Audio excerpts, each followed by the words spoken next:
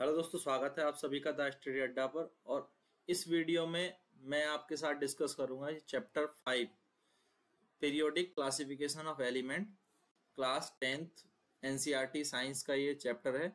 और हम इसके क्वेश्चन आंसर जितने भी क्वेश्चन आंसर जो है एनसीईआरटी की बुक में दिए हुए हैं, उन सब के सॉल्यूशंस को अच्छे से समझेंगे।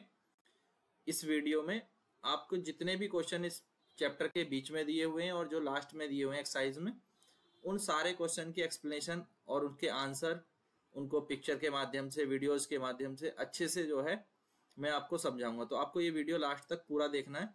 और इससे पहले जो चार चैप्टर थे हमारे, वो कंप्लीट हो चुके हैं आपके। आप चैनल पर प्लेलिस्ट में जा करके वहाँ से अपने क्वेश्चंस के आंसर देख सकते हैं और अपने सारे चैप्टर्स को कंप्लीट कर सकते हैं। ठीक है? और अगर आपको इसका पीडीएफ चाहिए, ये पीपीटी का तो वो आपको मिलेगा टेलीग्राम ग्रुप में। The study Adda, Telegram group यही है। ठीक है, मैं यहाँ पर टेलीग्राम ग्रुप लिख देता हूँ। टी डॉट एम ई ये टेलीग्राम का जो है, वो एक्सटेंशन है। और द स्टडी अड्डा, यही आप लिख के सर्च करेंगे तो आपको एक ग्रुप मिल जाएगा, उसमें ज्वाइन कर लीजिएगा। तो वहाँ पर आपको जो है, ये इसका पीडीएफ मैं डाल दूँगा। ठीक है? तो आज के जो हमारे क्वेश्चंस हैं, वो स्टार्ट करते हैं इस चैप्टर के। तो इस चैप्टर में हमारा पहला क्वेश्चन ये है did the Dobereiner triads also exist in column of Newlands octave compare and find out तो क्वेश्चन क्या है कि डोबे राइनर ने जो अपना ट्रायड लॉ दिया है, त्रियक नियम जिसे हम कहते हैं, और न्यूलैंड्स का जो अष्टक नियम है ऑक्टेव लॉ है, इन दोनों को कंपेयर करना है और क्या वो उसमें एग्जिस्ट करता है? तो ये भी हमें बताना है, ठीक है? डोबे राइनर के जो ट्रायड हैं, वो न्यूलैंड्स में एग्जिस्ट करते हैं या नहीं, ये भी बताना है। क्वेश्चन समझ गए? तो ये यहाँ पर डोबे नायर का पिक्चर है और उनके जो डोबे नायर राइनर का लॉ और न्यूलैंड्स का लॉ ये यहाँ दिख रहे हैं। हम आते हैं आंसर पे। समझें पहले इस बात को। तो डोबे नायर राइनर ने जो ट्रायड लॉ दिया, वो क्या था? कि उन्होंने जो एटम्स थे, उन्हें एटॉमिक मास के बढ़ते क्रम में अरेंज किया। एटॉमिक मास को इंक्रीजिंग ऑर्डर में अरेंज कर दिया।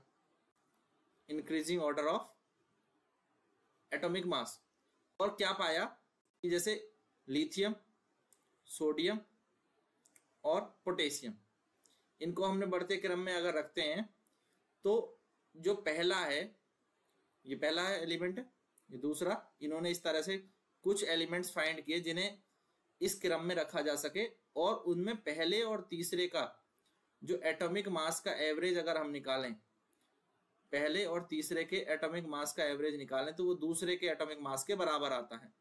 ये था डोबे राइनर का त्रियक नियम, जो उन्होंने कुछ फिक्स एलिमेंट्स के लिए लिया था, जैसे लिथियम, सोडियम, पोटेशियम। तो लिथियम और पोटेशियम का जो एटॉमिक मास है, उसको अगर ऐड करके आप डिवाइड बाई टू करेंगे तो सोडियम का एटॉमिक मास आ जाएगा।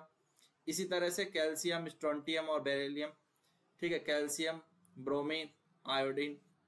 तो यहाँ पर भी कैल्शियम और आयोडीन का अगर आप एटॉमिक मास जोड़ करके उसका एवरेज लेंगे तो ब्रोमीन का तो कुछ ही एलिमेंट के लिए उन्होंने ये नियम फाइंड आउट किया, ठीक है?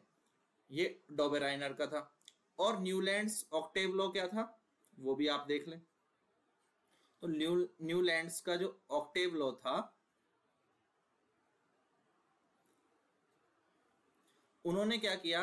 एलिमेंट्स को एटॉमिक मास के इंक्रीजिंग ऑर्डर में इंक्रीजिंग ऑर्डर में one two three four five six seven इस तरह से रखा जो उस समय ज्ञात थे। और उन्होंने देखा कि आठवां जो एलिमेंट उन्होंने जब यहाँ पर रखा तो उसकी प्रॉपर्टी जो पहला एलिमेंट था, उसके जैसी सेम थी। तो उन्होंने इसीलिए इनको जो है इस क्रम में रखा। सात के बाद आठवां एलिमेंट जो जिसके नीचे आया उनकी प्रॉपर्टी उन्होंने उसके अनुसार सेम मानी। जैसे लिथियम के नीचे यहाँ सोडियम पोटेशियम तो यहाँ पर ये कॉलम देखो lithium sodium potassium lithium sodium potassium ये न्यूलैंड ऑक्टेव में भी मिल रहा है। और लिथियम सोडियम पोटेशियम ये वाला कॉलम डेबोराइनर के ट्रायोड में भी मिल रहा है। यानी जो हमारा ये क्वेश्चन था did the Dobereiner triad also exist in the column of Newlands octave yes तो यहाँ क्या हो जाएगा? Yes Dobereiner triad also exist in the column of Newlands octave ठीक है? Did exist in column of Newlands octave तो ये हो गया। एग्ज़ाम्पल क्या बताएँगे? कहाँ एग्जिस्ट करता है? देखो लिथियम पोटेशियम और सोडियम ये डेबेनाइनर के ट्रायड में भी है और second column of Newlands octave में भी है। Second column of Newlands octave में भी है। मैंने यहाँ पर अभी आपको दिखाया। तो हमारा कंपेयर भी हो गया। हमने फाइंड आउट भी कर लिया और इसको विजुअलाइज भी करके हम देख चुके। तो क्लियर हुआ? क्लियर हुआ ना कि लिथियम, सोडियम, पोटेशियम दोनों में ऐसे ही कॉलम में एग्जिस्ट करते हैं, जैसे डेबोराइनर के ट्रायड में है और जैसे न्यूलैंड के ऑक्टेव में दोनों सेम एग्जिस्ट करते हैं। दोनों को हमने समझ भी लिया, ठीक है? एक बार फिर से बता देता हूँ कि ये दोनों लॉज है क्या, ठीक है? एक बार फिर से देख लो तो डेबोराइनर का क्या लॉ है कि इन्होंने क्या किया कि कुछ एलिमेंट्स फाइंड किए जिन्हें इंक्रीजिंग ऑर्डर में अरेंज करने पर फ़र्स्ट और थर्ड के एटॉमिक मास का एवरेज, फ़र्स्ट और थर्ड के एटॉमिक मास का एवरेज सेकंड के एटॉमिक मास के बराबर था। इसी बेस पर इन्होंने अपना लॉ दिया। उसी को हम कहते हैं डेबोनाइनर ट्रायड लॉ। फ़र्स्ट और थर्ड एलिमेंट के एटॉमिक मास का एवरेज जो है वो सेकंड एलिमेंट के एटॉमिक मास के बराबर है। और न्यूलैंड में क्या है कि इन्होंने एलिमेंट्स को बढ़ते क्रम में एटॉमिक मास के बढ़ते क्रम में increasing order of atomic mass उसमें अरेंज किया और पाया कि जब हम अरेंज करते हैं तो इनको अरेंज करने के बाद जो आठवां एलिमेंट हमारा है, ये सात हो गए। आठवां एलिमेंट जब हम रखते हैं तो उसकी प्रॉपर्टी जो है, वो सेम है पहले एलिमेंट की जैसी फ़र्स्ट और एट्थ की जो प्रॉपर्टीज़ है। अगर हम उनको इंक्रीजिंग मास के ऑर्डर में अरेंज करते हैं तो फ़र्स्ट और एट्थ एलिमेंट फिर इसी तरह से, फिर बाद में सात के बाद फिर आठवां जो एलिमेंट आएगा, उसकी प्रॉपर्टी सेम हो जाएँगी।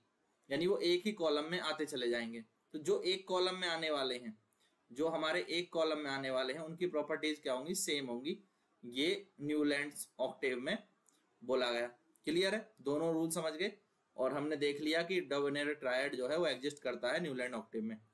ठीक है? क्लियर अब अगले क्वेश्चन पर चलते हैं। काफ़ी बात हो गई इसके बारे में। नेक्स्ट क्वेश्चन देखिए। What is the limitation of Dobereiner's classification अब डोबेराइनर ने जो ट्रायड बनाए थे, ये हमने पिछले क्वेश्चन में बहुत डिटेल में डिस्कस किए थे। क्या बनाया था? ठीक है, थोड़ा सा मैं आपको बता देता हूँ फिर से कि इन्होंने क्या रूल दिया, कि इन्होंने कुछ एलिमेंट्स को अरेंज किया बढ़ते क्रम में इंक्रीजिंग ऑर्डर में, और इन्होंने पाया कि फ़र्स्ट और थर्ड का जो एटॉमिक मास का जो एवरेज है, वो सेकंड एलिमेंट के एटॉमिक मास के इक्वल होता है। तो जैसे लिथियम और पोटेशियम का एटॉमिक मास का एवरेज सोडियम के एटॉमिक मास के बराबर होगा।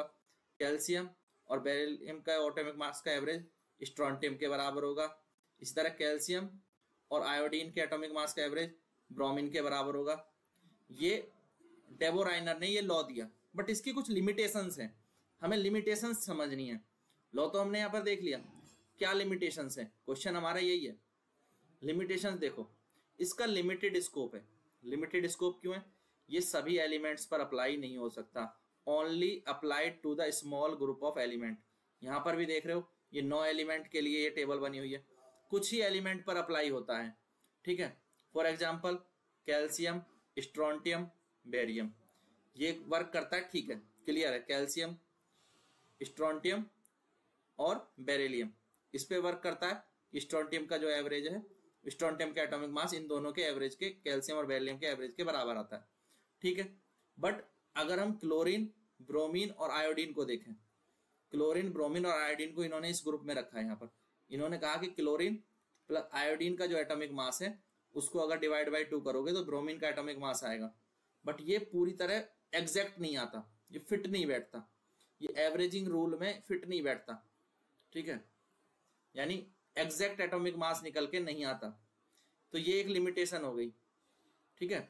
यही, इन्हीं नौ एलिमेंट में जो इन्होंने अरेंज किया, उसी में ये रूल फेल हो जा रहा है। ठीक है, जो हमने यहाँ पर देखा तो उसी में ये फेल हो जा रहा है। तो ये, फिर दूसरा, ये इनकम्प्लीटनेस है। इनकम्प्लीटनेस क्या है? कि सभी एलिमेंट के लिए अप्लाई नहीं कर सकते। Not all element form the neat triad ठीक है? There are many element left out बहुत सारे एलिमेंट इसमें कवर नहीं होते हैं। लाइक like सल्फ़र और भी कुछ एग्ज़ाम्पल आप दे सकते हैं, कुछ भी। तो जो इसमें कवर नहीं होते। फिर इसकी जो प्रिडिक्टिव पावर है, वो नहीं है। ये प्रिडिक्ट नहीं कर सकता था उन एलिमेंट्स के बारे में जो उस समय खोजे नहीं गए थे। क्यों? इससे हम उन एलिमेंट्स के बारे में कुछ भी प्रडिक्शन नहीं कर सकते थे, जो एलिमेंट्स हमें पता ही नहीं थे, जो कि आगे जाकर के मेंडलीव की जो पीरियोडिक क्लासिफिकेशन था, उससे प्रिडिक्ट भी किया जा सकता था उन एलिमेंट्स के बारे में जो तब तक पता नहीं थे। तो इसीलिए उसको ज़्यादा जो है इम्पोर्टेंट माना जाता है और आगे हम इस चैप्टर में उस, उससे रिलेटेड क्वेश्चन को डिस्कस करेंगे जब हम मैंडलीफ के बारे में पढ़ेंगे। ठीक है? मैंडलीफ ने जो पीरियोडिक टेबल बनाई थी और फिर हम देखेंगे मॉडर्न पीरियोडिक टेबल के बारे में जो मैंडलीफ से ही जो है उसको जो है मॉडिफाई करके बनाया गया था। तो इसमें प्रिडिक्टिव पावर नहीं थी ये प्रिडिक्ट नहीं कर सकता था उन नए एलिमेंट्स की प्रॉपर्टीज़ के बारे में जो साइंटिस्ट डिस्कवर नहीं कर पाए थे तब तक यानी आगे की डिस्कवरीज को प्रमोट नहीं करता था। ठीक है? तो the system could not predict यहाँ पर हम लिखें the system could not predict the properties of new elements as the scientist discovered more element and the triad system become increasingly inadequate और इसलिए ये बहुत ही अनुपयुक्त हो गया इनएडुकेट हो गया। ज़्यादा यूजफुल सिस्टम नहीं था और इसीलिए हम इसको ज़्यादा इंपॉर्टेंस नहीं देते हैं। बस एक लॉ था, एक लॉ के बारे में पहले लोग जानते थे, इसलिए हमने इसको कवर कर लिया। पहले दो क्वेश्चन में ज़्यादा ज़रूरत इसकी आपको नहीं पड़ने वाली है आगे के चैप्टर्स में। इस इस चैप्टर में आगे जब भी हम बात करेंगे। ठीक है? क्लियर अब नेक्स्ट क्वेश्चन देखें। अब नेक्स्ट क्वेश्चन इसी तरह से लिमिटेशन ऑफ़ न्यूलैंड लॉ के बारे में है। ठीक है? What are the limitation of new Newland law of octave अब ये क्वेश्चन भी हमने डिस्कस किया था पीछे के क्वेश्चन में फ़र्स्ट क्वेश्चन में। मैंने आपको बताया था न्यूलैंड लॉ ऑफ़ ऑक्टेव क्या था। ठीक है? फिर से बता देता हूँ कि न्यूलैंड ने क्या किया? कि एलिमेंट्स को अरेंज किया। जैसे म्यूज़िक में सारे गामा पा होता है, ऐसे ही सात कॉलम बनाए, सात कॉलम बनाए और उनमें जो है एलिमेंट्स को अरेंज किया in increasing order of atomic mass atomic mass के बढ़ते क्रम में। ठीक है, इस तरह से। और उन्होंने पाया कि जो आठवां एलिमेंट है, उसकी जो फ़िज़िकल केमिकल प्रॉपर्टीज़ हैं, वो पहले एलिमेंट के जैसी हैं। इस तरह से उनको अरेंज करते गए। फिर देखा कि ये अलग अलग कॉलम जो बने हैं हमारे, ठीक है? उनमें जो केमिकल प्रॉपर्टीज़ हैं, यानी इन सब की केमिकल प्रॉपर्टीज़ इस कॉलम की, पहले कॉलम की, दूसरे कॉलम की, तीसरे कॉलम की, चौथे कॉलम की, इनकी केमिकल प्रॉपर्टीज़ सेम है अकॉर्डिंग टू न्यूलैंड न्यूलैंड का ये कहना था। तो न्यूलैंड ऑक्टेव लॉ क्या है? When we in arrange the elements in increasing order of atomic mass, then first element has the similar properties as a ठीक है, या eighth element has the similar properties as first element इस तरह से जो है, वो कॉलम उन्होंने बना लिए। ठीक है? तो हर आठवां एलिमेंट जो है, वो अपने प्रॉपर्टी में समान था पहले एलिमेंट के। अब हमें बात करनी है इसकी लिमिटेशंस पे। रूल तो हमें पता है। रूल हमने पहले क्वेश्चन में भी देखा था, अब भी देख लिया। लिमिटेशंस क्या है? लिमिटेशंस पे बात करते हैं। It only work for the first few elements ये पहले ही कुछ एलिमेंट्स पर बात जो है काम करता है, शुरू के जो 20-30 एलिमेंट हैं, उन पर ही ठीक से ये काम करता है। साथ ही साथ, एक चीज़ देखो नोटेबली कहाँ से? हाइड्रोजन से लेकर के कैल्शियम तक, ठीक है? यानी हम कह सकते हैं फ़र्स्ट ट्वेंटी एलिमेंट्स पर ये अच्छे से काम करता है, ठीक है? उसके बाद पैटर्न ब्रोक डाउन हो जाता है, उसमें गड़बड़ आने लगती है। जैसे आप देखेंगे, ज़्यादा आगे जाने पर कैल्शियम से आगे जाने पर आयरन कोबाल्ट और निकिल ये ऑक्टेव में फिट नहीं बैठते। देखो, यहाँ पर आप ध्यान देंगे।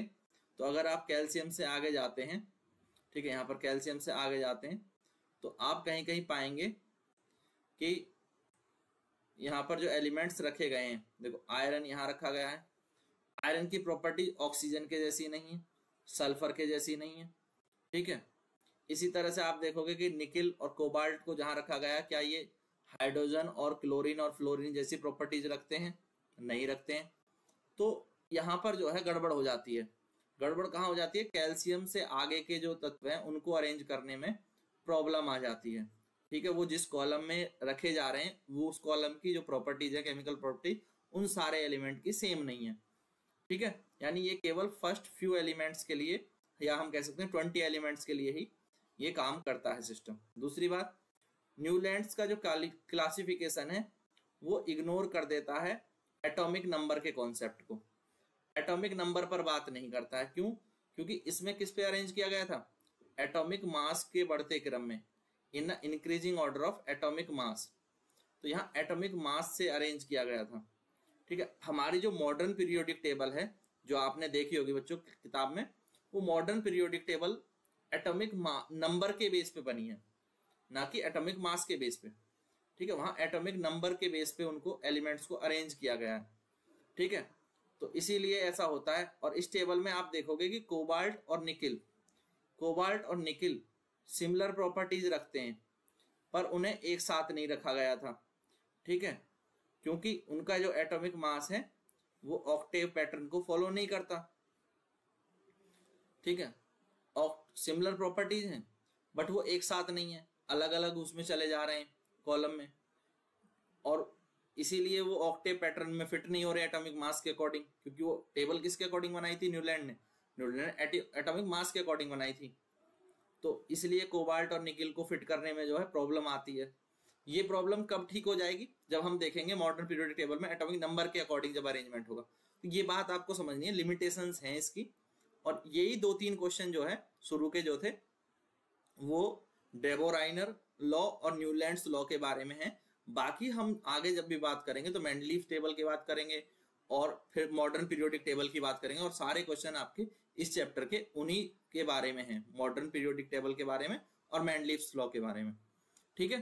तो ये चीज़ समझ में आ गई होगी। तो अब अगले क्वेश्चन पर चलते हैं। अब नेक्स्ट क्वेश्चन देखें। Use the Mendeleev's periodic table to predict the formula of oxide. Of the following element ठीक है? Potassium carbon aluminium silicon beryllium तो हमें इनके ऑक्साइड्स के फॉर्मूले प्रिडिक्ट करने on the basis of Mendeleev periodic table ठीक है, ये यहाँ पर मैंडलीव पीरियोडिक टेबल है, जो मैंडलीव ने 1969 में दी थी। ठीक है, ये आप देख सकते हैं। अब इनके ऑक्साइड हम प्रिडिक्ट करेंगे इस टेबल के अकॉर्डिंग ठीक है? चलो, देखते हैं। अब आप देखो कि पहला जो एलिमेंट है, ये, ठीक है पोटेशियम तो पोटेशियम कहाँ पर है? पोटेशियम आपका ये रहा। पोटेशियम टेबल में हम इनको ग्रुप मान लेते हैं। First group, second group, third group, fourth group, fifth, six, seven, ठीक है? और ये तीनों कॉलम को इसने माना था एट्थ ग्रुप, ठीक है? तो इस तरह से हम हम देखें तो फ़र्स्ट ग्रुप में है, फ़र्स्ट ग्रुप में है यहाँ पर पोटेशियम। कहाँ पर है? पोटेशियम फ़र्स्ट ग्रुप में है। फ़र्स्ट ग्रुप में होने का मतलब है इसकी वैलेंसी हो जाएगी वन। इसकी वैलेंसी हो जाएगी, पोटेशियम की वैलेंसी हो जाएगी वन। ठीक है? और ऑक्सीजन की वैलें, ऑक्सीजन कहाँ पर है? देखो, ऑक्सीजन की वैलेंसी है सिक्स। आठ करने के लिए इसको दो और चाहिए। तो ऑक्सीजन की वैलेंसी हो जाएगी टू। इसमें वैलेंस इलेक्ट्रॉन टू। इसको दो इलेक्ट्रॉन चाहिए। या हम कह सकते हैं टू माइनस। इसको दो इलेक्ट्रॉन, ये एक छोड़ सकता है। तो इसको कह सकते हैं हम वन प्लस। अगर इनकी वैलेंसीज को मैं क्रॉस करा दूँ तो क्या बनता है फॉर्मूला? के टू ओ तो ऑक्साइड हो गया। किसका ऑक्साइड हो गया? पोटेशियम का ऑक्साइड। के टू ओ इस तरह से हम इनके ऑक्साइड्स प्रिडिक्ट कर सकते हैं या उसके फॉर्मूले बना सकते हैं। ठीक है? जैसे कैल्शियम, कार्बन को देखो। कार्बन फोर पे कार्बन ग्रुप फोर में ग्रुप फोर में है। ये रहा। तो कार्बन की वैलेंसी हो गई चार। चार हो गई। वो या ठीक है, चार इलेक्ट्रॉन ना तो छोड़ सकता है नहीं सकता चार की शेयरिंग कर सकता है। ठीक है, चार इलेक्ट्रॉन की वो शेयरिंग कर सकता है। चलो, मान लेते हैं चार इलेक्ट्रॉन की शेयरिंग कर सकता है। मैंने ऐसे ही यहाँ पर रिप्रेजेंट कर लिया। ऑक्सीजन ऑक्सीजन के दो इलेक्ट्रॉन वो ले सकता है। अब दो, ठीक है तो अब इन दोनों को तुम टू को क्रॉस करा के यहाँ रख दो फोर को यहाँ रख दो। ओ फोर तो जब इसको सिंप्लीफाई करोगे तो क्या बन जाएगा? सीओ टू सीओ टू तो कार्बन का जो ऑक्साइड होगा, वो क्या होगा? सीओ टू होगा। ठीक है? परफेक्ट ऑक्साइड जो बनेगा सीओ टू वैसे सीओ भी बनाता है कार्बन। आपने पढ़ा होगा पहले दो तीन चैप्टर में। ठीक है? कि कार्बन जो है सीओ कार्बन मोनोऑक्साइड भी बनाता है। अब एल्मोनियम एल्मोनियम ग्रुप थ्री में है। तो एल्मोनियम ग्रुप थ्री में तीन ही इसकी वैलेंसी हो जाएगी। इसका वैलेंस इलेक्ट्रॉन तीन हो जाएँगे। ऑक्साइड किस किस बनाना है तो ऑक्सीजन की वैलेंसी सबको पता है, ये दो होती है। क्रॉस करा दो तो क्या बन जाएगा? A L two O three तो एल्मोनियम का ऑक्साइड क्या होगा? A L two O three ठीक है, यहाँ पर ये थोड़ा सा इसको सबस्क्रिप्ट में लिख लेना, जैसे मैंने लिखे। फिर सिलिकन ग्रुप फोर में है। सिलिकन ग्रुप फोर में। ठीक है वैलेंसी चार हो गई। ऑक्साइड के लिए तो ऑक्सीजन दो। क्रॉस कराओ। तो क्या बना? S I two O four simplify कर लो। तो क्या हो जाएगा? S I O two S I O two ये इसका ऑक्साइड बन गया। बेरेलियम का देखो ग्रुप टू में है। तो ग्रुप टू में वैलेंसी टू हो गई। ऑक्सीजन की भी वैलेंसी टू हो गई। तो B A two O two B A two O two simplify कर लो टू से टू कैंसिल तो क्या बनेगा? बी ए ओ ऑक्साइड हो गया बी ए ओ क्लियर है किस तरह से हमने ऑक्साइड बनाए? वैसे समझ में आ गया होगा, मैंने चारों पाँचों बना के बता दिए। ठीक है, इस तरह से हम ऑक्साइड्स को इजीली बना सकते हैं। ठीक है, आप किसी का भी ऑक्साइड लिख सकते हैं, अगर हमें उसकी वैलेंसी पता है। ठीक है क्लियर नेक्स्ट क्वेश्चन देखें। अब नेक्स्ट क्वेश्चन क्या कहता है? देखो beside gallium which other element have since been discovered that were left by the Mendeleev in his periodic table अब जब मैंडलीफ ने अपनी पीरियोडिक टेबल बनाई थी तो उसने कुछ स्थान खाली छोड़े थे बच्चों। उसने कुछ स्थानों को खाली छोड़ा था। देखो यहाँ पर जैसे आप देख रहे हैं, कुछ स्थानों को खाली रखा था और यहाँ पर जो है कुछ एलिमेंट उसने नहीं खोजे थे। ठीक है, वो जगह खाली थी। इस टेबल में अब वो जगह आपको दिख रही होंगी खाली थी। यानी उसने प्रिडिक्शन के लिए भी जगह रखी थी। कि आने वाले समय में ये एलिमेंट पाए मिल सकते हैं, ये एटॉमिक मास खोजे जा सकते हैं। तो उसके लिए जगह थी उसके टेबल में। ठीक है? अब ये क्या था? कौन से गैलियम के लिए जगह थी और किस किस के लिए जगह थी? तो आपको कोई भी दो नाम बताने थे। कोई भी, हमारा क्वेश्चन जो है वो कोई आपसे दो नाम पूछना चाह रहा है गैलियम के अलावा। तो हम यहाँ कह सकते हैं जर्मेनियम जर्मेनियम के लिए जगह छोड़ी थी। स्केंडियम के लिए जगह छोड़ी थी, और भी बहुत सारे एलिमेंट के लिए जगह छोड़ी थी। आप दो नाम याद कर लीजिए, ताकि आप बता पाए कि कौन कौन से एलिमेंट्स जो है, वो खोजने थे। ठीक है? या उनके लिए जगह रखी थी मैंडलीफ ने अपनी टेबल में। तो कोई भी दो एलिमेंट के नाम आप इजीली बता पाएँगे। ठीक है? जर्मेनियम स्केंडियम का याद कर लीजिए, और ये आप अपने एग्ज़ाम्स में लिख सकते हैं। क्लियर है? नेक्स्ट क्वेश्चन पर चलें। अब देखिए नेक्स्ट क्वेश्चन क्या है? What are the criteria used by Mendeleev in creating his periodic table क्या क्राइटेरिया यूज़ किया था मैंडलीफ ने अपनी टेबल बनाने में? ठीक है? क्या क्राइटेरिया था? बताओ। ये तो मैंने पिछले क्वेश्चंस में आपको बताया है कि उसने किस बेसिस पर बनाई थी? एटॉमिक मास के बेसिस पर। देखो, ध्यान दो। जो मैंडलीफ की शुरुआती जो पीरियोडिक टेबल थी, जो उसने 16 69 में बनाई थी, वो यूज़ किया था एटॉमिक मास यानी increasing order of atomic mass elements was arrange in increasing order of atomic mass elements को एटॉमिक मास के बढ़ते क्रम में लगाया गया था। तो ये एक यूनिक क्राइटेरिया था उसके हिसाब से, उस समय किसके हिसाब से?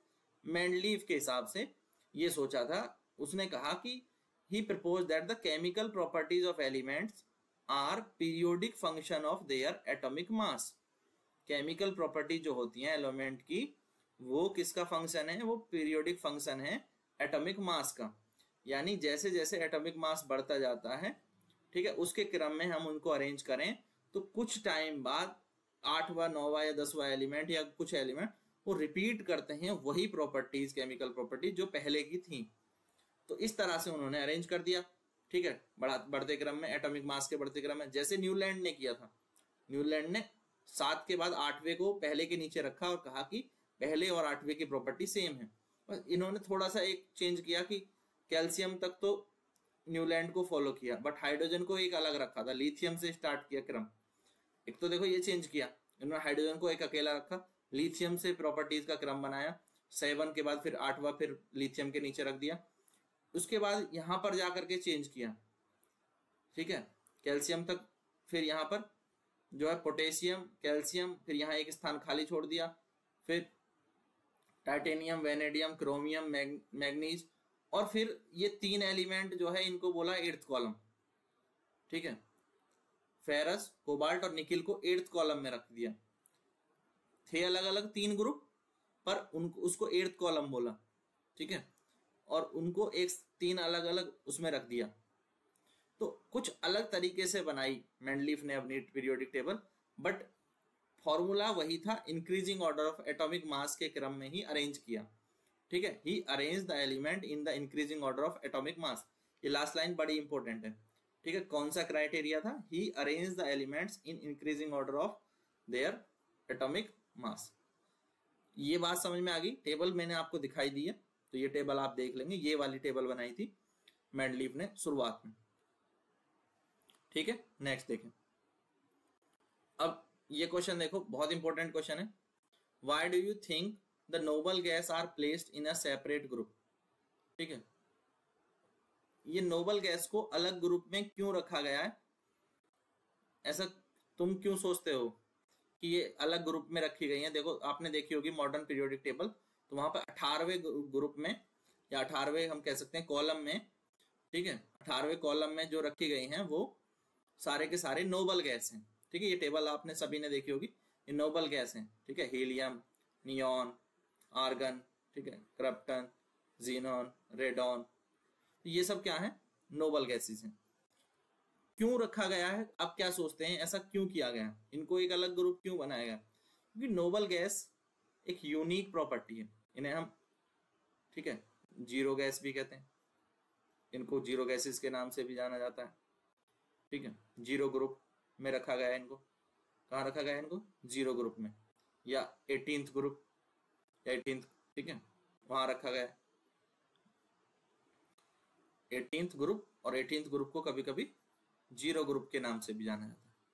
Noble gas form their own group. अपना ग्रुप है क्योंकि इनका यूनिक केमिकल बिहेवियर है। यूनिक केमिकल बिहेवियर क्यों है? They are unreactive noble gas का मतलब ही ये है। हिंदी में कहते हैं अक्रिय गैसें। अक्रिय। यानी जो क्रिया नहीं करती। नॉन रिएक्टिव हैं। है ना? नॉन रिएक्टिव हैं। अनरिएक्टिव हैं। इनर्ट गैस भी कहते हैं। हम इनको इनर्ट गैस भी कहते हैं। इनर्ट गैस जो रिएक्ट नहीं करती, वही इनर्ट गैस अनरिएक्टिव है। और ये बहुत कम मात्रा में पाई जाती हैं एटमॉस्फेयर में. Exist in very small amount in atmosphere बहुत कम मात्रा में पाई जाती हैं. ठीक है? और ये रिएक्ट नहीं करती हैं किसी भी अदर एलिमेंट के साथ. क्यों? इसके पीछे कारण क्या है? रिएक्ट नहीं करती जैसे हीलियम है. हीलियम का एटॉमिक नंबर है टू जैसे नियॉन है, उसका एटॉमिक नंबर है दस. तो इनके, अगर हम इलेक्ट्रॉन को अरेंज करें तो पहले ग्रुप में के में मैक्सिमम दो ही हो सकते हैं के सेल में, और इसमें दो ही हैं. फिर यहाँ के सेल में दो हो सकते हैं एल सेल में आठ हो सकते हैं। यानी इनके जो सेल हैं इलेक्ट्रॉन्स हैं सेल में जो इलेक्ट्रॉन्स हैं, वो कंप्लीटली फिल हैं। सेल में जो इलेक्ट्रॉन्स हैं, ये हमने पिछले चैप्टर्स में पढ़ा है कि इलेक्ट्रॉनिक कॉन्फ़िगरेशन क्या होती है एलिमेंट्स की। तो इसकी जो इलेक्ट्रॉनिक कॉन्फ़िगरेशन है, वो कंप्लीटली फिल्ड होती है। ठीक है, इसके जो सेल्स हैं, वो कंप्लीटली फिल्ड होते हैं। और कंप्लीटली फिल होते हैं तो इनको ना तो किसी से इलेक्ट्रॉन लेने की ज़रूरत है ना ये इलेक्ट्रॉन देने की ज़रूरत है। यानी ये किसी के साथ रिएक्ट ही नहीं करते, क्योंकि जब इनको आवश्यकता ही नहीं है इलेक्ट्रॉन के एक्सचेंज करने की तो ये रिएक्ट क्यों करेंगे? तो ये अनरिएक्टिव हो जाते हैं इनर्ट गैसेज हैं ये। ठीक है? अब इनको सेपरेट ग्रुप में इसीलिए रखा गया कि, और जिस ग्रुप में रखा गया, उसको हम कहते हैं ग्रुप 18 या उसको नोबल गैस ग्रुप भी बोलते हैं इनर्ट गैस भी कहते हैं ज़ीरो ग्रुप भी कहते हैं, कई सारे नाम हैं। ठीक है? तो maintain the organisation of periodic table based on repeating chemical properties chemical properties के आधार पर इसको एक अलग ग्रुप दे दिया गया और वो कौन सा ग्रुप है वो आपको पता ही चल गया। ठीक है? क्लियर नेक्स्ट देखें। How could the modern periodic table remove the various anomalies in Mendeleev's periodic table अब मैंडलीफ ने अपनी पीरियोडिक टेबल बनाई थी, कब बनाई थी? 1969 में। उसमें कुछ जो है त्रुटियाँ थी छोटे छोटे एरर्स थे, कुछ एरर्स थे। उनको कैसे ठीक किया गया? उनको ठीक किया गया मॉडर्न पीरियोडिक टेबल के द्वारा। मॉडर्न पीरियोडिक टेबल के द्वारा उनको ठीक किया गया। पिछले क्वेश्चन आपने देखे होंगे तो इन पर मैं काफ़ी सारी बात कर चुका हूँ और इस क्वेश्चन में भी करने वाला हूँ। तो आपको चीज़ें क्लियर हो जाएँगी। आप पिछले क्वेश्चन ज़रूर करके फिर नेक्स्ट क्वेश्चन को अटेम्प्ट किया करें। ठीक है? तो इससे आपको हेल्प मिलेगी कि पीछे के क्वेश्चन में क्या बात हुई है। तब आपको आगे के क्वेश्चन अच्छे से समझ में आएँगे। आप पीछे के सारे क्वेश्चन अच्छे से समझ लीजिए। ठीक है, हर एक क्वेश्चन को जो है अलग अलग भी डाला गया है और पूरे चैप्टर की प्लेलिस्ट भी बनी हुई है। और एक कंप्लीट वीडियो भी होता है जिसमें सारे क्वेश्चंस कवर होते हैं तो आपको जो पूरा वीडियो भी देख सकते हो। या अलग अलग सारे क्वेश्चंस के वीडियो आप देख सकते हैं, जैसे भी आपको सुटेबल लगे। बट पीछे के क्वेश्चंस आप कर लेंगे तो आगे के क्वेश्चंस आपको जब भी समझ में आएँगे। ठीक है? तो मैंडलीव की टेबल में कुछ जो एरर्स थे, उनको किससे ठीक किया गया? मॉडर्न पीरियोडिक टेबल के द्वारा ठीक किया गया। वो एरर्स क्या थे? कैसे ठीक किए गए? ये हम इस क्वेश्चन में समझेंगे। ठीक है? तो देखें। सबसे पहले तो जो मैंडलीव की जो पीरियोडिक टेबल थी, आप पीछे क्वेश्चन देखेंगे, मैंने बताया था, उसमें एलिमेंट्स को एटॉमिक मास के बेसिस पर अरेंज किया गया था। In the increasing order of atomic mass अब जो हमारी ये मॉडर्न पीरियोडिक टेबल है, हम इस पे बात करेंगे। तो मॉडर्न पीरियोडिक टेबल किस पे बेस है? एटॉमिक नंबर पर बेस है। तो इस पर एटॉमिक नंबर पर बनाने से कौन सी गलतियाँ मेंडलीव की टेबल की ठीक हो गई, समझो। क्या था कि जो मॉडर्न पीरियोडिक टेबल है, इसको हमने एटॉमिक नंबर पर बनाया, जो कि प्रोटॉन जितने होते हैं किसी एटम में, उसका आधार पर एटॉमिक नंबर डिसाइड होता है। अब यहाँ से आपको एक कॉन्सेप्ट भी क्लियर हो जाएगा, किसी एलिमेंट में एटॉमिक नंबर जो होता है, वही उसमें नंबर ऑफ़ प्रोटॉन के बराबर होता है। ये बात हमें पहले से भी क्लियर है, हमने बहुत सारे चैप्टर में ये चीज़ समझी है कि किसी एलिमेंट में जितने प्रोटॉन होते हैं उतना ही उसका एटॉमिक नंबर होता है।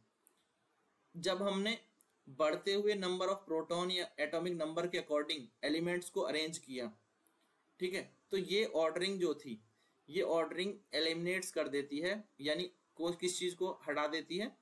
जो इनकंसिस्टेंसी आ रही थी मेंडलीव की टेबल में। मेंडलीव की टेबल में एक इनकंसिस्टेंसी थी, जहाँ कुछ एलिमेंट जिनका हायर एटॉमिक नंबर था हायर एटॉमिक मास था वो फिर भी पहले रखे गए थे लोअर एटॉमिक मास वाले एलिमेंट से। लोअर एटॉमिक मास वाले एलिमेंट से पहले रख दिए गए थे, जबकि उनका जो है, वो एटॉमिक मास जो है, वो कम ज़्यादा वाले पहले रख दिए और कम वाले पीछे रख दिए। तो ऐसा था उस टेबल में। आप देखोगे तो उसकी पिक्चर में तो आपको ये चीज़ दिखेगी, ठीक है? वहाँ पर कुछ एलिमेंट्स ऐसे हैं जो ज़्यादा एटॉमिक मास होते हुए भी पहले रखे हुए हैं और कम एटॉमिक मास वाला बाद में रखा है। यानी इंक्रीजिंग ऑर्डर कह करके इंक्रीजिंग ऑर्डर फॉलो नहीं होता, क्योंकि केमिकल प्रॉपर्टीज़ बदल जाती हैं। पर जब एटॉमिक नंबर के अकॉर्डिंग अरेंज किया गया तो फिर वो जो एरर थी या जो इनकंसिस्टेंसी थी मैंडलीव टेबल में, वो मॉडर्न पीरियोडिक टेबल में ऐसी इनकंसिस्टेंसी नहीं है। ठीक है? तो एक तो ये फ़ायदा हो गया modern periodic table atomic number के अकॉर्डिंग बनाने से। कि वो इनकंसिस्टेंसी हट गई। दूसरा कोबाल्ट और निकिल का स्थान। ये बड़ा कंफ्यूजिंग था मेंडलीव के पीरियोडिक टेबल में। अब यहाँ पर मैं आपको मेंडलीव का पीरियोडिक टेबल दिखाई देता हूँ, ताकि चीज़ें क्लियर हो जाएँ, दोनों को एक साथ रख लेते हैं और चीज़ों को साथ साथ समझते चलते हैं, ठीक है? कि पहली तो एरर ये थी कि जो एटॉमिक नंबर पर क्या एरर थी? कि जो हायर ऑर्डर है हायर हायर एटॉमिक मास वाले जो एलिमेंट हैं वो लोअर एटॉमिक मास से पहले रख दिए गए। कहाँ हैं? देखो, यहाँ पर देखो कि ये जो आयोडीन है एटॉमिक मास 127 है, ठीक है? पर ये यहाँ रखा है और इससे पहले ये रख दिया गया है 128 पे। और इसको तो क्या है?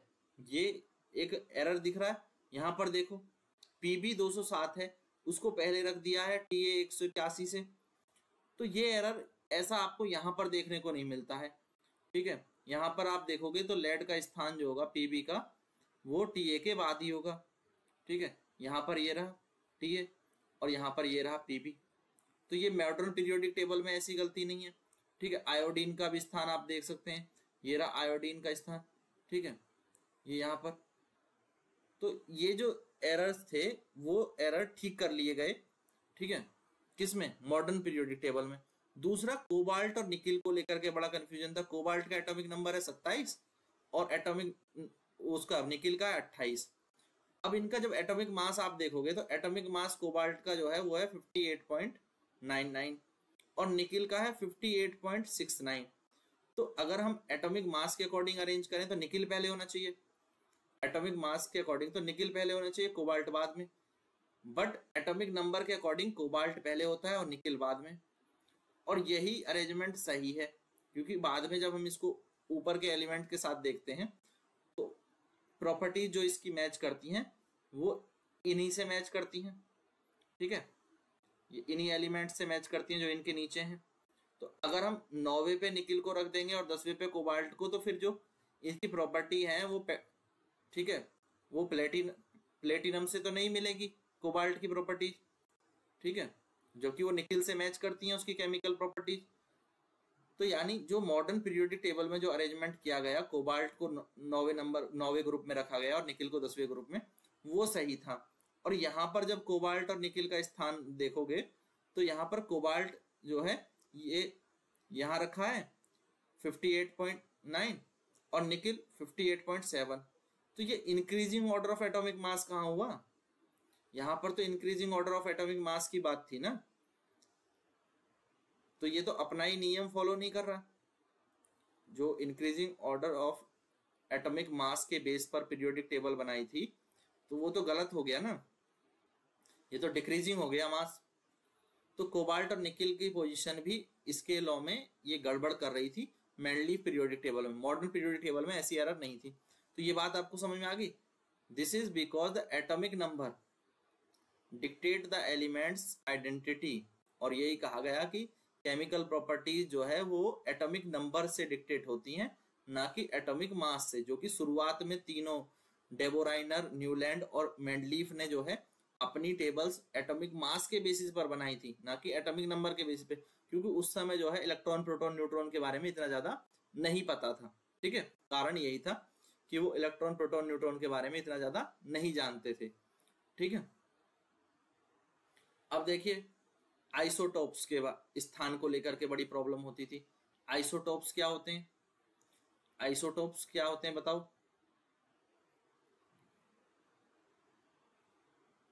आइसोटोप्स जिनका सेम एटॉमिक जो है, वो नंबर है, वो होते हैं आइसोटोप्स सेम एटॉमिक नंबर क्या है?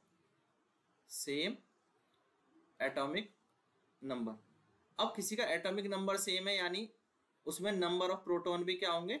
सेम होंगे। सेम नंबर ऑफ़ प्रोटॉन तो अगर हाइड्रोजन का आइसोटॉप्स है one H one one H two one H three इनके एटॉमिक मास अलग अलग है। इनके एटॉमिक मास देखोगे वन टू थ्री तीनों के अलग अलग है। बट इनका एटॉमिक नंबर एक ही है। इन सब का एटॉमिक नंबर तो एक ही है ना? तो इन्हें हमें अलग अलग जगह प्लेस करने की ज़रूरत नहीं है।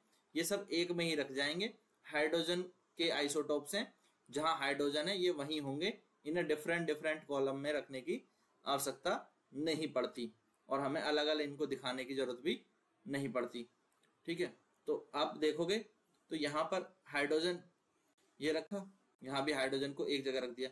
बट अगर इसमें हम एटॉमिक मास के अकॉर्डिंग ये टेबल बना रहे तो इसमें टू थ्री फोर के लिए प्लेस बनाना पड़ता। पर यहाँ तो एटॉमिक नंबर सबका एक ही है तो सब इसी में है। ठीक है? वो सो भी करने की ज़रूरत नहीं है। हाइड्रोजन और हाइड्रोजन के सारे आइसोटॉप्स वन पे आ जाएँगे। इसी तरह से किसी के भी जो आइसोटॉप्स हैं, जैसे कार्बन का आइसोटॉप्स है सिक्स सी ट्वेल्व और सिक्स सी फोर्टीन तो एटॉमिक मास के अकॉर्डिंग तो इसके लिए दो प्लेस की ज़रूरत होगी। पर एटॉमिक नंबर के लिए इस हिसाब से इसको एक ही प्लेस की ज़रूरत होगी। और दिया यहाँ पर भी एक ही स्थान है और यहाँ पर भी हम इसको एक ही स्थान देते हैं। पर यहाँ एक स्थान देने का लॉजिक समझ में नहीं आता, जबकि यहाँ पर एटॉमिक नंबर बोल दिया तो वो बात क्लियर हो जाती है कि इसको एक ही स्थान मिलेगा दोनों। छह नंबर छह हैं क्योंकि ये, इसका एटॉमिक नंबर तो ये चीज़ें यहाँ से क्लियर होती हैं, ठीक है? तो एटॉमिक नंबर के बेस पे अगर हम रखते हैं तो हमें आइसोटोप्स को एक जगह रखने में सुविधा हो जाती है, ठीक है?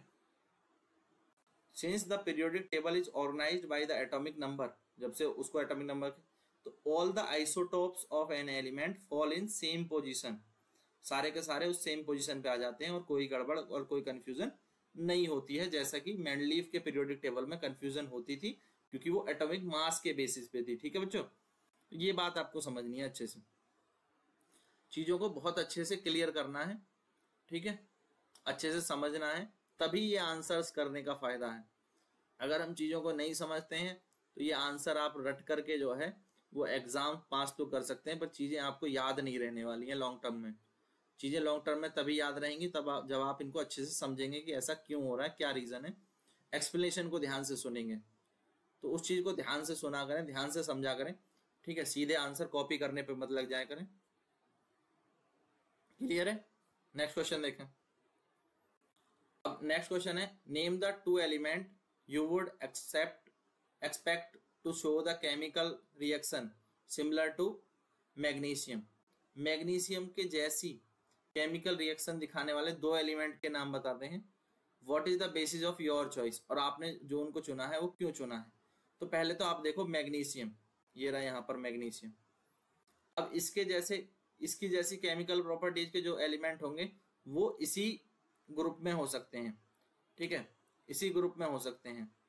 वो बेरेलियम हो सकता है, वो कैल्शियम हो सकता है, वो स्ट्रॉन्टियम हो सकता है, ठीक है? वो बैरियम हो सकता है, ठीक है? वो रेडियम हो सकता है। इसमें से कोई भी दो एलिमेंट अगर हम लेंगे तो उनकी जो केमिकल प्रॉपर्टीज़ है सेम होंगी, क्योंकि ये सारे के सारे क्या हैं? ये सारे के सारे एल्केलाइन है। ये क्या है? एल्केलाइन है। अर्थ मेटल्स हैं। ये सब अर्थ मेटल्स हैं। मैग्नीशियम भी अर्थ मेटल है और जो भी इस कॉलम में है, वो सब अर्थ मेटल हैं। और ये हमारा ग्रुप टू है। ये क्या है? ग्रुप टू है। ठीक है? अब एक्सप्लेनेशन देखो पूरे आंसर की, समझो। तो कैल्शियम बेरेलियम सबसे ज़्यादा सिमिलर कौन रख होंगे इसके? क्योंकि जो सबसे नज़दीक होंगे, मैग्नीशियम के जो सबसे नज़दीक होंगे, वो इसके सबसे ज़्यादा सिमिलर केमिकल प्रॉपर्टीज़ रखते होंगे इसी इसी अर्थ मेटल वाले ग्रुप में। तो बेरेलियम और calcium.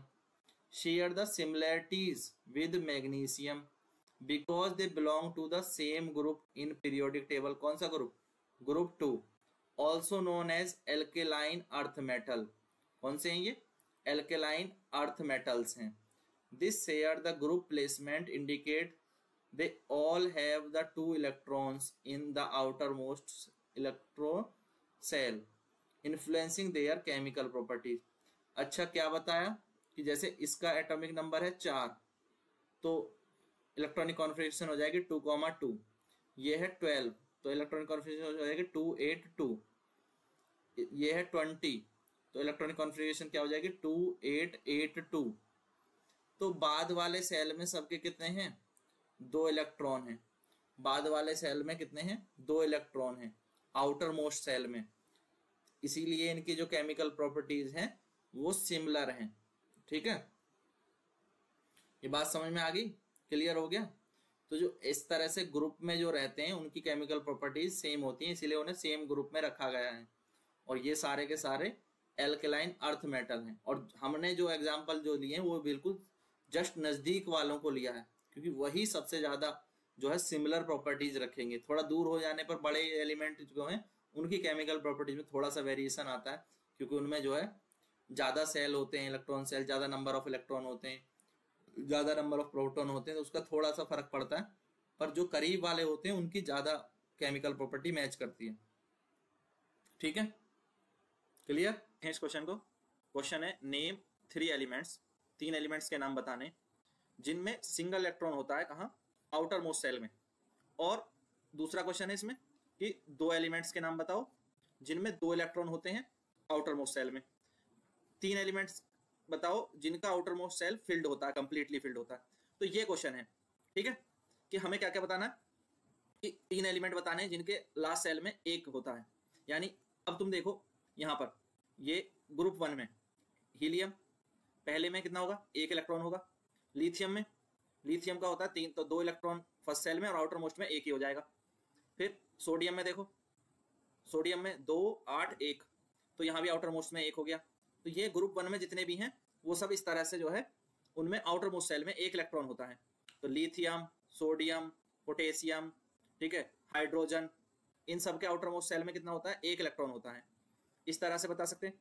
ठीक है, इसी तरह से मैग्नीशियम। मैग्नीशियम, कैल्शियम, ये ग्रुप टू में है, उनके आउटर मोस्ट सेल में दो इलेक्ट्रॉन होते हैं। तो ग्रुप टू वाले जितने भी हैं, देखो, ग्रुप टू वाले जितने भी एलिमेंट हैं, ये रहा ग्रुप टू, इनमें बेरेलियम है, ठीक है, मैग्नीशियम, कैल्शियम स्ट्रॉन्टियम इन सब में क्या है? इनके आउटर मोस्ट सेल में दो इलेक्ट्रॉन होंगे, ठीक है, जैसे मैग्नीशियम मैग्नीशियम में बारह इलेक्ट्रॉन होते हैं कुल तो पहले दो, आठ, दो, ठीक है, ये इसका इलेक्ट्रॉनिक कॉन्फ़िगरेशन हो जाएगी। कैल्शियम बीस होता है तो उसमें हो जाएगा दो, आठ आठ, दो। तो आउटर में मोस्ट सेल में सब में दो इलेक्ट्रॉन है। ठीक है? इसी तरह से अब हमें बताना कंप्लीटली फिल्ड वाला। जब outer most shell completely filled हो, ऐसे तीन के नाम। तो आप जाओ ग्रुप अठारह में। ग्रुप अठारह देखो। तो ग्रुप अठारह का है? ये रहा। ग्रुप अठारह। Helium neon argon krypton xenon radon ये सब क्या है? ये सब जो है नोबल गैस है। नोबल गैस है। जो कि जिनका जो आउटर मोस्ट सेल है, वो कंप्लीटली फिल्ड होता है। हीलियम के आउटरमोस्ट सेल में दो इलेक्ट्रॉन दो यू इसमें होते हैं नियॉन में दो आठ, दस हो गए। फिर आर्गन में होता है दो आठ आठ। तो इनके जो आउटर मोस्ट सेल हैं, वो कंप्लीटली फिल्ड है। देखो। ठीक है? तो इस तरह से हम बता सकते हैं नियॉन आर्गन जीनॉन ये ग्रुप अठारह के जो हैं, इनके आउटर मोस्ट सेल क्या है, वो कंप्लीटली फिल्ड है। तो एग्ज़ाम्पल आपको बताने थे। तो आप कर पाएँगे इस क्वेश्चन को इजीली ये क्वेश्चन किया जा सकता है। ठीक है? एक इलेक्ट्रॉन वाले हो गए लिथियम सोडियम पोटेशियम जिनके आउटर मोस्ट सेल में एक इलेक्ट्रॉन है, दो में हो गया मैग्नीशियम कैल्शियम इसी तरह से जिनके आउटर मोस्ट सेल जो है कंप्लीटली फिल्ड है हो जाएँगे नियॉन आर्गन जिनॉन हीलियम भी हो सकता। है ठीक है? कोई भी आप एग्ज़ाम्पल बता सकते हैं इस तरह से। नेक्स्ट क्वेश्चन देखें। नेक्स्ट क्वेश्चन है lithium sodium and potassium are all metal that react with water that react with water to liberate hydrogen gas ठीक है? To liberate hydrogen gas lithium potassium और सोडियम ये क्या करते हैं? ये वाटर के साथ रिएक्ट करके हाइड्रोजन गैस बनाते हैं, ठीक है? आगे देखें। Is there any similarity in the atom of these element इनमें कोई सिमिलैरिटी है? क्या है? ये हमें बताना है। क्वेश्चन क्लियर फिर दूसरा क्वेश्चन और है फोर्थ में ही, वो भी पहले क्वेश्चन देख लेते हैं। Helium is an unreactive gas सबको पता है? हीलियम जो है वो नोबल गैस है। Neon is a gas of extremely low reactivity ये भी नोबल गैस में आती है। इसकी भी रिएक्टिविटी क्या है? बहुत कम है। हीलियम भी जो है वो रिएक्ट नहीं करती है। ये भी नोबल गैस है। What if anything do their atom have common in दोनों एटम्स के बीच में क्या कॉमन है? हमें लिथियम पोटेशियम सोडियम के बीच में बताना था क्या सिमिलरिटी है। और इसी तरह से हम हीलियम और नियॉन के बीच में बताना है क्या सिमिलरिटी है। और ये आपको बहुत सारे बच्चों को पता भी होगा, ठीक है? क्या सिमिलरिटी है? तो लिथियम जो है, इसका अगर हम इलेक्ट्रॉनिक कॉन्फ़िगरेशन देखें तो ये दो और एक हो जाएगी। अगर मैं इलेक्ट्रॉनिक कॉन्फ़िगरेशन लिखूँ पोटेशियम की तो वो हो जाएगी दो, आठ आठ, एक। ठीक है? और अगर मैं सोडियम की इलेक्ट्रॉनिक कॉन्फ़िगरेशन लिखता हूँ तो हो जाएगी दो आठ एक। यानी तीनों के इनके आउटर मोस्ट सेल में एक इलेक्ट्रॉन है। और अगर मैं हीलियम की बात करूँ तो उसमें दो ही इलेक्ट्रॉन होते हैं, और नियॉन में दस होते हैं तो दो आठ। यानी इनके outer most shell completely filled है। कंप्लीट फिल्ड है। तो ये नोबल गैस है, और ये मेटल है। लिथियम सोडियम और पोटेशियम क्या है? ये मेटल है। और हीलियम और नियॉन क्या है? ये नोबल गैस है। ये तो इनकी सिमिलैरिटीज हैं। ठीक है? तो पहले में हम कहें क्या लिथियम सोडियम पोटेशियम में सिमिलैरिटी है? यस इनमें एक सिमिलैरिटी है कि ये सारे जो एलिमेंट है, तीनों एलिमेंट इनके आउटर मोस्ट सेल में एक इलेक्ट्रॉन है।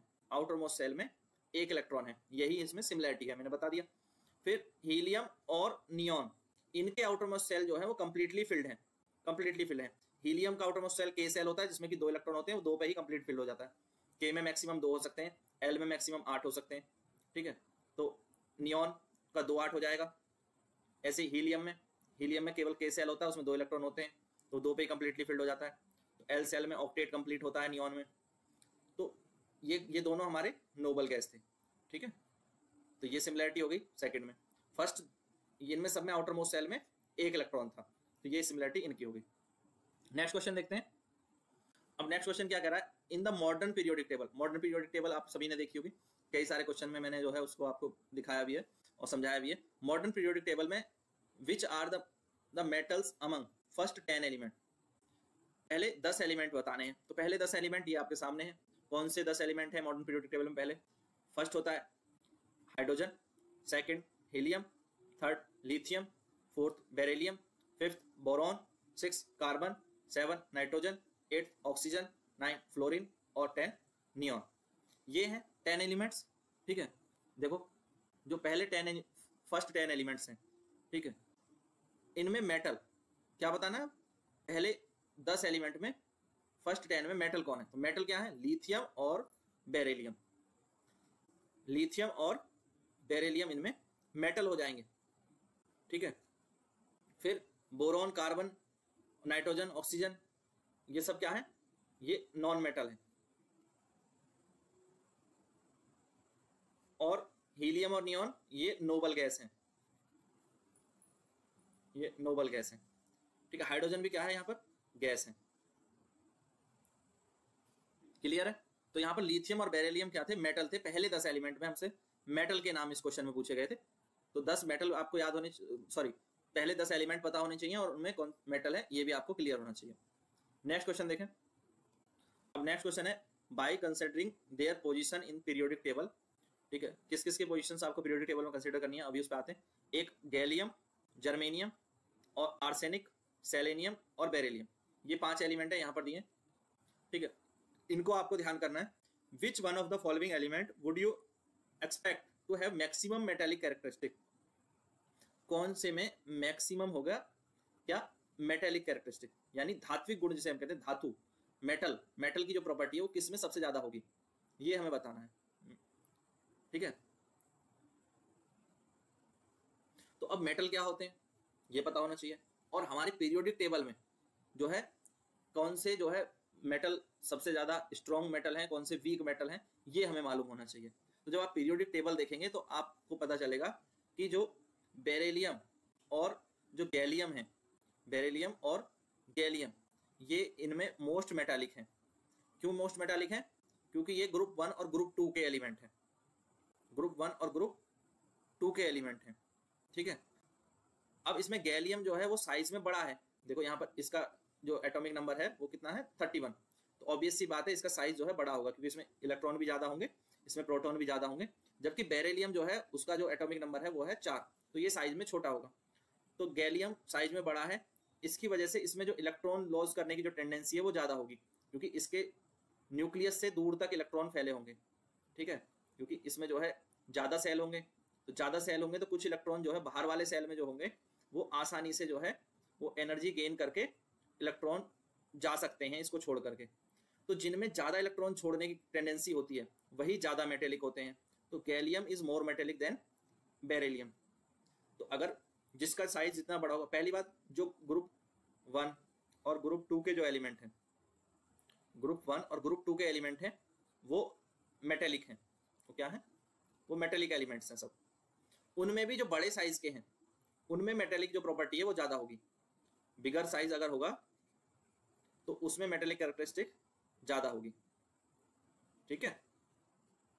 ये बात क्लियर है? तो अगर हम बेरेलियम और गैलियम में तुलना करें, मैं इसको एक बार क्लियर कर देता हूँ। तो जो बेरेलियम है, उसका एटॉमिक नंबर है चार तो इलेक्ट्रॉन भी इसमें चार होंगे। तो पहली कक्षा में दो, दूसरी कक्षा में भी दो इलेक्ट्रॉन होंगे। और गैलियम में जो है गैलियम का जो एटॉमिक नंबर है, वो है कितना? इकतीस। तो अगर हम इसके इलेक्ट्रॉनिक कॉर्फिशिएंट लिखेंगे, ये हो जाएगी दो, आठ, अठारह, तीन। ठीक है? तो अब अगर देखें तो इसमें जो है चार सेल हैं और इसमें दो सेल हैं। तो जिसमें ज़्यादा सेल होंगे, उसका साइज़ बड़ा होगा। जो साइज़ बड़ा होगा तो उसमें जो है इलेक्ट्रॉन लूज करने की टेंडेंसी जो है, वो ज़्यादा होगी। तो जो आसानी से इलेक्ट्रॉन लूज कर सकता है, उसी की जो मेटेलिक कैरेक्टरिस्टिक है, वो ज़्यादा होगी। तो हम कह सकते हैं गैलियम की जो मेटेलिक कैरेक्टरिस्टिक है, वो ज़्यादा है किसकी तुलना में? बेरेलियम की तुलना में। बाकी इन ये जो और दिए हुए वो नॉन मेटल या जो है, वो सब सेमी जैसे यहाँ पर जर्मेनियम है, ये सेमी है, ठीक है? आर्सेनिक और सेलेनियम ये ये जो है नॉन मेटल है। तो इस तरह से हमें ध्यान देना है कि पीरियोडिक टेबल में जो ग्रुप वन और ग्रुप टू के एलिमेंट हैं, वो मेटेलिक कैरेक्टरिस्टिक्स रखते हैं और उनमें भी बड़े साइज़ के जो एलिमेंट हैं, उनकी मेटेलिक कैरेक्टरिस्टिक्स ज़्यादा होती है। यानी ऊपर से नीचे जब हम आते हैं टेबल में तो मेटेलिक नेचर जो है, वो बढ़ती है, ठीक है? ये ध्यान रखेंगे। और अगर हम उसमें जो है, देखेंगे लेफ़्ट टू राइट आएँगे। लेफ़्ट टू राइट आएँगे तो वो मेटेलिक कैरेक्टरिस्टिक घटती है। क्लियर? नेक्स्ट क्वेश्चन देखें अब क्वेश्चन देखें। ये which of the following statement is not correct about the trends when going from left to right across the periodic table अभी पीछे में ये बात कर रहा था कि हम लेफ़्ट टू राइट जाएँगे तो क्या होगा? या टॉप टू बॉटम जाएँगे तो क्या होगा? इस तरह के क्वेश्चन जो है, वो पूछे जाते हैं। पीरियोडिक टेबल में अगर हम मूव करते हैं तो देखें। अगर हम लेफ़्ट टू राइट जाएँगे तो element become less metallic in nature ये बात सही है। अगर आप इधर से इधर जाएँगे, इस इस डायरेक्शन में लेफ़्ट टू राइट जाते हैं तो देखेंगे कि ये जो एलिमेंट हैं, जो लेफ़्ट साइड पे हैं, ये मेटल हैं। और जैसे जैसे हम जो है राइट साइड पे बढ़ते हैं तो नॉन मेटेलिक कैरेक्टरिस्टिक इंक्रीज होती है। मेटेलिक कैरेक्टरिस्टिक जो है वो डिक्रीज होती है। तो एलिमेंट बिकम लेस मेटेलिक ये बात सही है। अभी हमें इनकरेक्ट बताना है। इनकरेक्ट बताना है। Number of valence electron increase number of valence electron increase यहाँ पर वैलेंसी कितनी होगी? वन फिर टू फिर थ्री फिर फोर फिर वैलेंसी जो है फिर घटने लगती है, फिर जो है फिर थ्री टू वन फिर हो जाती है, फिर बढ़ने लगती है। इस तरह से वैलेंसी जो है बढ़ती, घटती है, बढ़ती, घटती है। तो यहाँ पर हम जो है इसको जो है पूरी तरह सही नहीं कह सकते। शुरुआत में जो है लेफ़्ट टू राइट जाने पर वैलेंसी बढ़ती है। आगे देख लेते हैं। ठीक है? हो सकता है कोई बिल्कुल और भी ऐसा स्टेटमेंट दिया हो जो पूरी तरह गलत हो। Atom lose their electron more easily अगर हम जो है लेफ़्ट से राइट जाते हैं तो उनमें जो क्या होगा कि उनकी बाहरी कक्षा में जो है इलेक्ट्रॉन की संख्या बढ़ती जाएगी और उनका साइज़ भी बढ़ता जाएगा। तो वो आसानी से अपने इलेक्ट्रॉन जो है, वो छोड़ सकते हैं। तो ये बात जो है, ये गलत है कि ये बात सही है, बताओ। तो जैसे जैसे हम जाएँगे तो भारी सेल में नंबर ऑफ़ इलेक्ट्रॉन बढ़ेंगे तो प्रोटोन इलेक्ट्रॉन के बीच अट्रैक्शन फोर्स भी तो बढ़ेगा। क्योंकि नंबर ऑफ़ प्रोटोन सेंटर पे ज़्यादा होंगे, बाहर इलेक्ट्रॉन भी होंगे, और पर उन पे जो अट्रैक्शन फोर्स है, वो भी बढ़ेगा। तो ये स्टेटमेंट जो है पूरी तरह जो है वो गलत है। तो हमें वही बताना है कि कौन सा जो है वो गलत है, सही नहीं है। ठीक है? Atom lose their electron more easily ठीक है? ये स्टेटमेंट गलत है। जैसे हम लेफ़्ट से राइट जाते हैं तो इजी नहीं होता वो, उनमें जो है तो ऊपर वाला स्टेटमेंट फिर इस हिसाब से हम उसको ठीक मान लेंगे। The oxides become more acidic तो मेटल के ऑक्साइड्स जो होते हैं मेटल के ऑक्साइड वो एसिडिक होते हैं या बेसिक होते हैं, बताओ। ये तो हमने पिछले चैप्टर में पढ़ा था। मेटल के ऑक्साइड जो मेटल ऑक्साइड्स जो होते हैं, उनकी नेचर बेसिक होती है। और जो नॉन मेटल के ऑक्साइड्स होते हैं, उनकी नेचर एसिडिक होती है। क्या होती है? एसिडिक होती है। तो जैसे जैसे हम लेफ़्ट टू राइट जाएँगे तो नॉन मेटल जो नेचर है एलिमेंट्स की, वो बढ़ती है। इसका मतलब जैसे हम लेफ़्ट से राइट जाएँगे तो ऑक्साइड्स भी एसिडिक होते चले जाएँगे। दोनों बात, ठीक है? तो ये तो सही स्टेटमेंट है। तो गलत कौन सा था? यही गलत था कि एटम जो है वो आसानी से इलेक्ट्रॉन लॉस लॉस कर देंगे लेफ़्ट से राइट जाने पर। तो ये गलत है, ठीक है? ऐसा नहीं होता है। जैसे जैसे हम लेफ़्ट से राइट जाते हैं तो एलिमेंट्स का साइज़ बढ़ता जाता है। यानी सेल में जो नंबर ऑफ़ इलेक्ट्रॉन है, वो बढ़ते जाते हैं। और नंबर ऑफ़ इलेक्ट्रॉन बढ़ते हैं, साथ ही साथ यहाँ पर प्रोटॉन की संख्या भी बढ़ती है तो इनके बीच अट्रैक्शन फोर्स बढ़ता है। तो ईजी नहीं होता ये। और डिफ़िकल्ट हो जा, होता जाता है इलेक्ट्रॉन लॉस करना एक एलिमेंट के लिए। इसलिए ये स्टेटमेंट गलत है, ठीक है? गलत दिया हुआ है। नेक्स्ट देखें। अब बहुत ईजी क्वेश्चन है। कि एक एलिमेंट है एक्स एक एलिमेंट है एक्स वो क्लोराइड क्लोराइड के साथ जो है, वो क्लोरीन के साथ रिएक्ट करता है और बनाता है X chloride X C L two which is a solid with high melting point तो इस, ये एक सॉलिड है, ये बता दिया। और इसका जो मेल्टिंग पॉइंट है, वो भी हाई है। ये भी बता दिया। तो एक्स क्या होगा, ये आपको बताना है हमारे पीरियोडिक टेबल में। एक्स जो एलिमेंट है, वो क्या होगा? तो ऐसा जिसका क्लोराइड जो है, वो सॉलिड हो और उसका मेल्टिंग पॉइंट हाई हो। तो ये है मैग्नीशियम। क्या है ये? मैग्नीशियम, जिसकी वैलेंसी होती है दो। ठीक है, मैग्नीशियम का एटॉमिक नंबर होता है बारह। तो बारह को हम लिख सकते हैं दो, आठ। दो। ये इलेक्ट्रॉनिक कॉन्फ़िगरेशन हो गया तो वैलेंसी दो हो जाएगी, क्योंकि लास्ट सेल में दो इलेक्ट्रॉन है। और मैग्नीशियम को जब हम क्लोराइड के साथ या क्लोरिन के साथ रिएक्ट कराते हैं तो बनता है मैग्नीशियम क्लोराइड जो कि सॉलिड होता है। ये क्या होता है? ये सॉलिड होता है। और इसका जो मेल्टिंग पॉइंट है, वो भी हाई होता है। हाई मेल्टिंग पॉइंट होता है। ठीक है? तो यहाँ पर अपना ऑप्शन बी करेक्ट है। नेक्स्ट देखें। Which element has two shell both of which are completely filled with electron कौन सा एलिमेंट है जिसमें दो सेल हैं और दोनों कंप्लीटली फिल्ड हैं? दोनों कंप्लीटली फिल्ड हैं। तो ये हो जाएगा नियॉन क्योंकि दो आठ दस होती है। इसका एटॉमिक नंबर और इसके जो दोनों सेल हैं के सेल हो जाएगा, दो एल सेल में आठ हो जाएँगे। ये दोनों कंप्लीटली फिल्ड हो जाएँगे। द इलेक्ट्रॉनिक कॉन्फ़िगरेशन किसकी दो आठ दो होगी? तो ये होगी मैग्नीशियम की। दो आठ दो, बारह पे होता है मैग्नीशियम। तो ये सब याद करना है आंसर बी बी का आंसर हो जाएगा, ठीक है? तो ये हो जाएगा मैग्नीशियम। ऐसे ही, ठीक है? अभी हमने नियॉन कर लिया। नियॉन दस होते हैं, दो आठ, इसकी electronic configuration a total of three shell तीन सेल होने चाहिए। With four electron in valence shell last में चार होने चाहिए। तीन सेल हैं और लास्ट में चार इलेक्ट्रॉन है। तो लास्ट में चार इलेक्ट्रॉन है तो इसमें चौदह हो गए। तो फोर्टीन पे कौन होता है? सिलिकन सिलिकन हो जाएगा वो एलिमेंट दो सेल है और लास्ट में तीन इलेक्ट्रॉन है। दो सेल है और लास्ट में तीन इलेक्ट्रॉन यानी पाँच। पाँच पे कौन हो गया? पाँच पे हो गया बोरॉन बोरॉन हो गया। ठीक है? Twice as many electron in the second shell of its first shell ऐसा कौन है जिसके फ़र्स्ट सेल से दुगने एलिमेंट होते हैं सेकंड सेल में? तो दो यहाँ, उसके दुगने चार यहाँ तो चार पे है बेरेलियम चार पे है बेरेलियम तो ये सारे एलिमेंट के हमें नाम बताने थे, क्योंकि अगर हमें उनकी इलेक्ट्रॉनिक कॉन्फ़िगरेशन के बारे में पता होगा तो हम इजीली इनके नाम बता पाएँगे। जैसे मैंने आपके सामने ये बताए ठीक है? ऐसे जिसके दो कंप्लीटली फिल्ड है नियॉन हो गया, दो आठ कंप्लीटली फिल्ड होते हैं नियॉन के, दो ही सेल होने चाहिए। फिर मैग्नीशियम दो आठ, दो इसी का होता है बारह पे मैग्नीशियम सिलिकन दो आठ, चार, ठीक है? दो आठ, चार चार होने चाहिए थर्ड सेल में यही तो बोला था, ठीक है? तीन सेल होने चाहिए और थर्ड सेल में चार इलेक्ट्रॉन होने चाहिए। फिर कह रहा है दो सेल होने चाहिए और लास्ट वाले में तीन इलेक्ट्रॉन होने चाहिए तो बोरॉन हो गया, ठीक है? फिर कह रहा है कि यहाँ पर twice as many electron in the second cell of its first cell तो सेकेंड सेल के दुगने होने चाहिए तो छः पे हाँ। चार पे नहीं छः पे बताना तो छः पे हो जाएगा कार्बन ठीक है, वो पिछले, पीछे मिस्टेक होगी तो वो सही कर लेंगे। तो दो, चार टोटल हो गए छः तो छः पे होता है कार्बन सिक्स सी ट्वेल्व ठीक है, सबका आपको ये भी स्ट्रक्चर भी पता होना चाहिए। क्लियर है? तो इस तरह से जो है, हमें ये एलिमेंट्स पहचानने थे। जब आपको कम से कम शुरू के जो बीस एलिमेंट हैं, उनके तो आपको इलेक्ट्रॉनिक कॉन्फ़िगरेशन बिल्कुल रटे हुए होने चाहिए। उनके एटॉमिक नंबर आपको याद होने चाहिए। इलेक्ट्रॉनिक कॉन्फ़िगरेशन आपको बहुत इजीली उनकी बनानी आनी चाहिए। तो ये आप प्रैक्टिस कर लेंगे। एक काम ज़रूर करें फ़र्स्ट ट्वेंटी एलिमेंट्स के लिए जो है फ़र्स्ट जो ट्वेंटी एलिमेंट्स हैं, उन सब के लिए इलेक्ट्रॉनिक कॉन्फ़िगरेशन एक बार लिख करके प्रैक्टिस कर लें तो आपको ये आसानी से याद हो जाएगी। और एक से बीस तक जो है, सारे एलिमेंट्स के नाम याद कर लीजिए। क्या क्या है एक से बीस तक एलिमेंट्स एक बार मैं रिवाइज कर hydrogen helium lithium beryllium boron carbon nitrogen oxygen fluorine neon sodium magnesium aluminium silicon phosphorus sulphur और क्लोरीन आर्गन पोटेशियम कैल्शियम तो ये बीस आपको याद रहने चाहिए, कम से कम। इतने एलिमेंट तो आपको याद होने चाहिए। चलो नेक्स्ट देखते हैं। क्वेश्चन है what property do all element in same column of periodic table have as the boron have in common तो ऐसे जो जो बोरॉन की प्रॉपर्टी है, वही उस कॉलम की प्रॉपर्टी है, ठीक है? कौन कौन सी प्रॉपर्टी है जो उस कॉलम की प्रॉपर्टी है और वो बोरॉन की भी प्रॉपर्टी है, ये बताना है। इसी तरह से फ्लोरिन वाले कॉलम के बताना है। तो फ्लोरिन देखो फ्लोरिन कहाँ है? तो ये दोनों पता होने चाहिए। पहली बात तो ये ग्रुप थर्ड ए में होता है बोरॉन। ठीक है बोरॉन और उसका पूरा कॉलम यहाँ पर रिप्रेजेंट कर दिया। इसमें एल्मोनियम है, गैलेनियम है, ये सब एलिमेंट है। तो इनकी कौन सी प्रॉपर्टी है जो ये कॉमन है? क्यों इनको एक कॉलम में रखा गया है? जब तो रखा गया क्योंकि इनकी कुछ प्रॉपर्टी कॉमन है।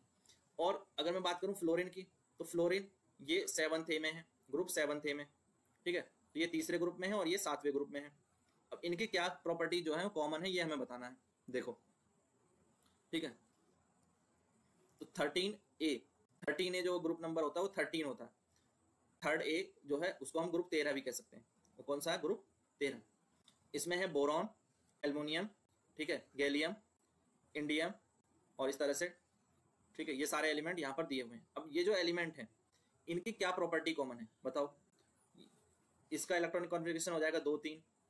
पाँच पाँच होते हैं ना एटॉमिक नंबर बोरॉन का। एल्यूमिनियम का तेरह होता है, दो आठ तीन।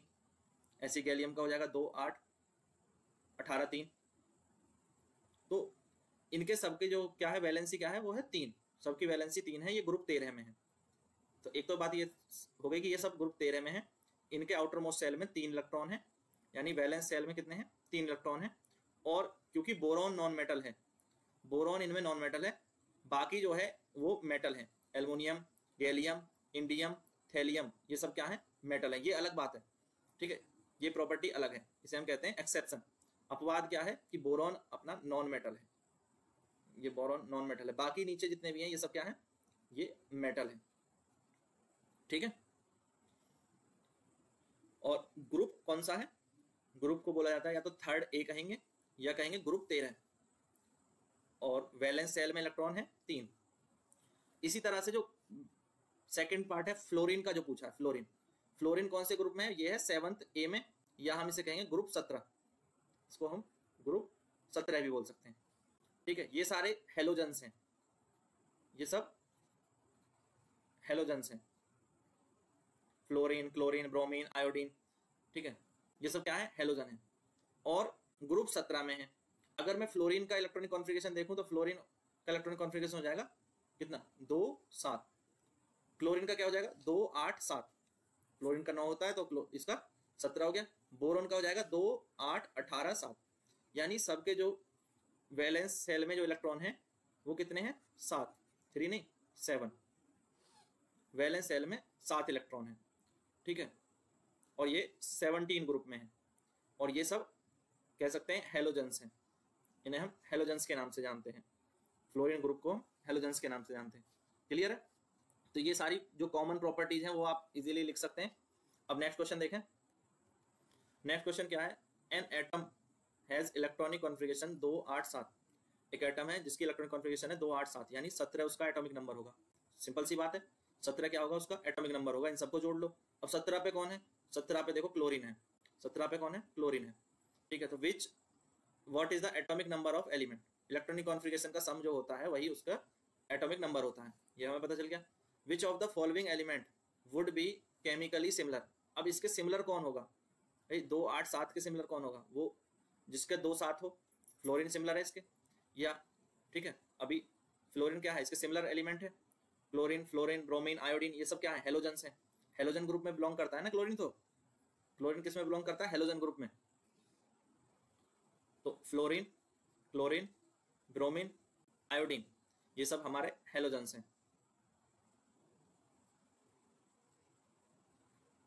तो फ्लोरीन हो गया।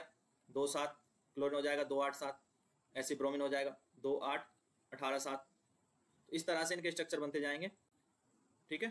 तो atomic number is equal to the number of electron तो नंबर ऑफ़ इलेक्ट्रॉन थे सत्रह तो एटॉमिक नंबर फाइंड हो गया। कॉन्फ्रिगेशन दो आठ सात। सिमिलर हो जाएगी किसके? फ्लोरिन के। फ्लोरिन में नौ होते हैं तो फ्लोरिन हो जाएगा दो और सात। इलेक्ट्रॉनिक कॉन्फ़िगरेशन हो जाएगी। इस तरह से आप आंसर करते थे। ब्रोमीन का भी एग्जांपल दे सकते थे। तो ब्रोमिन में होते हैं कितने? दो आठ, अठारह सात। तो टोटल कर लेंगे इसका। कितना हो जाएगा? ये हो जाएगा पैंतीस थर्टी फाइव ठीक है? अब नेक्स्ट देखें। क्वेश्चन है the position of three element A B C ये हमें बतानी है। देखो ग्रुप सोलह में यहाँ पर बी और ग्रुप सत्रह में ए और सी ये पीरियोडिक टेबल में आपको पता होना चाहिए ग्रुप सोलह है, पूरा याद होना चाहिए ग्रुप सत्रह याद होना चाहिए सारे ग्रुप आप जब आपको याद होंगे तो आप पहचान पाएँगे कि ये कौन सा कौन सा है। अब क्वेश्चन क्या है? State whether A is metal और नॉन मेटल अब ग्रुप सोलह देखो ग्रुप सोलह जिसे हम सिक्स ए भी कहते हैं, ये है, ठीक है ऑक्सीजन वाला ग्रुप और दूसरा ग्रुप सत्रह, ये फ्लोरिन ग्रुप जिसे सेवन ए भी कहते हैं। अब इसमें बी कौन सा होगा? One two three four fourth element ये होगा बी ठीक है? ये हो जाएगा बी और ए कौन सा होगा? ए हो जाएगा ये क्लोरीन और सी कौन सा होगा? सी ये फोर्थ एलिमेंट ये हो जाएगा आयोडीन तो अब हमें बताना ए मेटल है या नॉन मेटल है। फिर बताना है कि सी सी ज़्यादा रिएक्टिव है कि ए और लेस रिएक्टिव है ए से। सी ए से ज़्यादा रिएक्टिव है या कम रिएक्टिव है? विल सी बी लार्जर और smaller than in size B B का साइज़ सी का साइज़ बी से बड़ा होगा या छोटा होगा? आयन किस प्रकार के होंगे? कैटायन या एनायन किसमें? एलिमेंट ए में। तो चार क्वेश्चन है इस टेबल से। ठीक है? अब देखो एक एक करके। इस टेबल में जो ए है ए क्या है? वो नॉन मेटल है। कौन था ए ए था क्लोरीन ए और क्लोरीन क्या है यहाँ पर? नॉन मेटल है। फ्लोरीन क्लोरीन ब्रोमीन आयोडीन ये था। तो क्लोरीन हो गया नॉन मेटल पहला क्वेश्चन क्लियर वैसे ब्रोमीन आयोडीन सभी जो है ये नॉन मेटल है। सी इज़ मोर रिएक्टिव और लेस रिएक्टिव देन ए तो सी ये रहा ए ये रहा, यानी क्लोरीन और आयोडीन में। तो क्लोरीन ज़्यादा रिएक्टिव होता है कि आयोडीन तो आयोडीन ज़्यादा रिएक्टिव होता है, यानी क्लोरीन आयोडीन से कम रिएक्टिव है। तो हम कह सकते हैं C is less reactive than iodine ठीक है? और बी और सी में किसका साइज़ जो है, वो बड़ा होगा, किसका साइज़ छोटा होगा? तो यहाँ पर देखेंगे तो बी ग्रुप सोलह में है और ए सी जो है वो ग्रुप सत्रह में है। जब ग्रुप सत्रह में होगा तो इसमें जो है नंबर ऑफ़ इलेक्ट्रॉन ज़्यादा होंगे नंबर ऑफ़ प्रोटॉन ज़्यादा होंगे। तो पर सी में नंबर ऑफ़ इलेक्ट्रॉन ज़्यादा होने से और नंबर ऑफ़ प्रोटॉन ज़्यादा होने से फ़र्क क्या पड़ेगा कि नंबर ऑफ़ सेल दोनों में इक्वल होंगे। नंबर ऑफ़ सेल दोनों में इक्वल होंगे और इलेक्ट्रॉन ज़्यादा होने से और प्रोटॉन ज़्यादा होने से अट्रैक्शन फोर्स बढ़ेगा तो उसका साइज़ थोड़ा सा छोटा हो जाएगा। ठीक है? ये बात समझना कि अगर सेल बराबर है और इलेक्ट्रॉन ज़्यादा है तो साइज़ छोटा हो जाता है तुलनात्मक रूप से, क्योंकि इलेक्ट्रॉन और प्रोटॉन के बीच अट्रैक्शन फोर्स ज़्यादा होता है। ठीक है, ज़्यादा इलेक्ट्रॉन ज़्यादा प्रोटॉन तो एक दूसरे को एक दूसरे को आकर्षित करेंगे और कम स्पेस घेरेंगे। जब नंबर ऑफ़ सेल इक्वल है। अगर सेल ज़्यादा होते तो सिंपल सी बात है, जिसमें नंबर ऑफ़ सेल ज़्यादा है, उसमें उसका साइज़ बड़ा होगा। बट यहाँ बी और सी के केस में ग्रुप सोलह और ग्रुप सत्रह में ये दोनों जो है, चौथे नंबर के एलिमेंट है तो इनमें जो है नंबर ऑफ़ सेल इक्वली होगा। नंबर ऑफ़ सेल पे कोई फ़र्क नहीं पड़ेगा। नंबर ऑफ़ सेल सेम है, इसमें भी चार सेल होंगे। चार या पाँच सेल होंगे, और इसमें भी पाँच सेल होंगे। तो पाँच कक्षा इसकी हैं, पाँच कक्षा इसकी हैं, पर सी में इलेक्ट्रॉन ज़्यादा है, इसलिए उसका साइज़ छोटा है, ये बात समझना। ठीक है? इसके चारों ओर भी जो है पाँच कक्षा में इलेक्ट्रॉन पाए जाएँगे और उसके चारों ओर भी। पर इलेक्ट्रॉन ज़्यादा होने से वो कम स्पेस लेंगे। ठीक है? दोनों में पाँच ही सेल हैं, क्योंकि दोनों जो है सेम रो में स्थित हैं। क्लियर है? A will form an ion A will form an ion और कैटायन तो अब ये क्या है? कि सवाल क्या था? ए को लेकर के था। ए था हमारा क्लोरीन क्लोरीन होता है सत्रह, उसका एटॉमिक नंबर है दो आठ सात। अब दो आठ सात है तो इसको अंतिम कक्षा को जो है इसमें सेवन इलेक्ट्रॉन है। लास्ट ऑर्बिट में सात है। तो ये सात के साथ छोड़ तो नहीं सकता, एक गेन कर लेगा। और एक इलेक्ट्रॉन गेन करके ये अपने आप को जो है कंप्लीट कर सकता है। जब एक इलेक्ट्रॉन गेन करेगा तो ये नेगेटिव चार्ज इस पे आ जाएगा। और नेगेटिव चार्ज इस पे होता है, वो कहलाता है anion A will form an anion ठीक है, जो इलेक्ट्रॉन ये गेन करेगा, और जो इलेक्ट्रॉन गेन करेगा, वो एनायन कहलाएगा, और जो इलेक्ट्रॉन लॉस करेगा, वो कैटायन कहलाएगा। तो इसने एक इलेक्ट्रॉन गेन कर लेगा और उसके बाद जो है ये कंप्लीटली फिल्ड हो जाएगा। तो ये बात क्लियर हुई? सबके बारे में समझ गए? ठीक है? नेक्स्ट क्वेश्चन देखें। नेक्स्ट क्वेश्चन है नाइट्रोजन जिसका एटॉमिक नंबर है सात। फॉस्फोरस फॉस्फोरस जिसका एटॉमिक नंबर है पंद्रह। और belong to the group fifteen दोनों जो है ग्रुप फिफ्टीन से बिलोंग करते हैं। अच्छा। Right the electronic configuration of these two element लिख दी दो पाँच आठ पाँच दो आठ पाँच इनमें से कौन ज़्यादा इलेक्ट्रोनेगेटिव होगा और क्यों? ये बताना है। क्वेश्चन क्या है? Which of the following is more electronegative and why ठीक है? तो नाइट्रोजन था। नाइट्रोजन का एटॉमिक नंबर सात। इलेक्ट्रॉनिक कॉन्फ़िगरेशन लिखोगे तो दो पाँच तो पहले में दो वन एस टू टू फिर पाँच को इसको टू एच टू और टू पी थ्री ये पाँच का जो है दूसरे सेल में तो एस और पी में डिवाइड करोगे तो एस में आ जाएँगे दो पी में आ जाएँगे थ्री ठीक है, ये चीज़ हम डिटेल में अगली क्लास में पढ़ते हैं वैसे, ठीक है? और यहाँ पर अगर आपको पता है तो पहले one H two two H two two P three तो ये हो गए। पी में मैक्सिमम छः आ सकते हैं।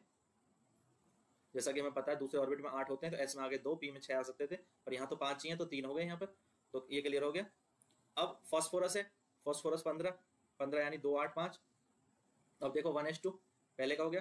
फिर two S two two P six ये कंप्लीट हो गया। ठीक है? के सेल पूरा एल सेल पूरा।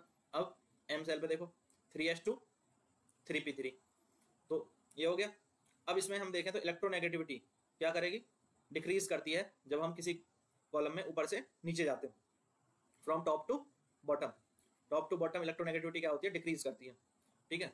इलेक्ट्रोनेगेटिविटी वो घटती है। ठीक है? तो नाइट्रोजन की इलेक्ट्रोनेगेटिविटी ज़्यादा होगी किससे? जो है फॉस्फोरस की तुलना में। ये बात याद रखनी है। जैसे जैसे उसका जो साइज़ है, वो बढ़ता जाएगा, उसमें इलेक्ट्रोनेगेटिविटी घटती जाएगी। ठीक है?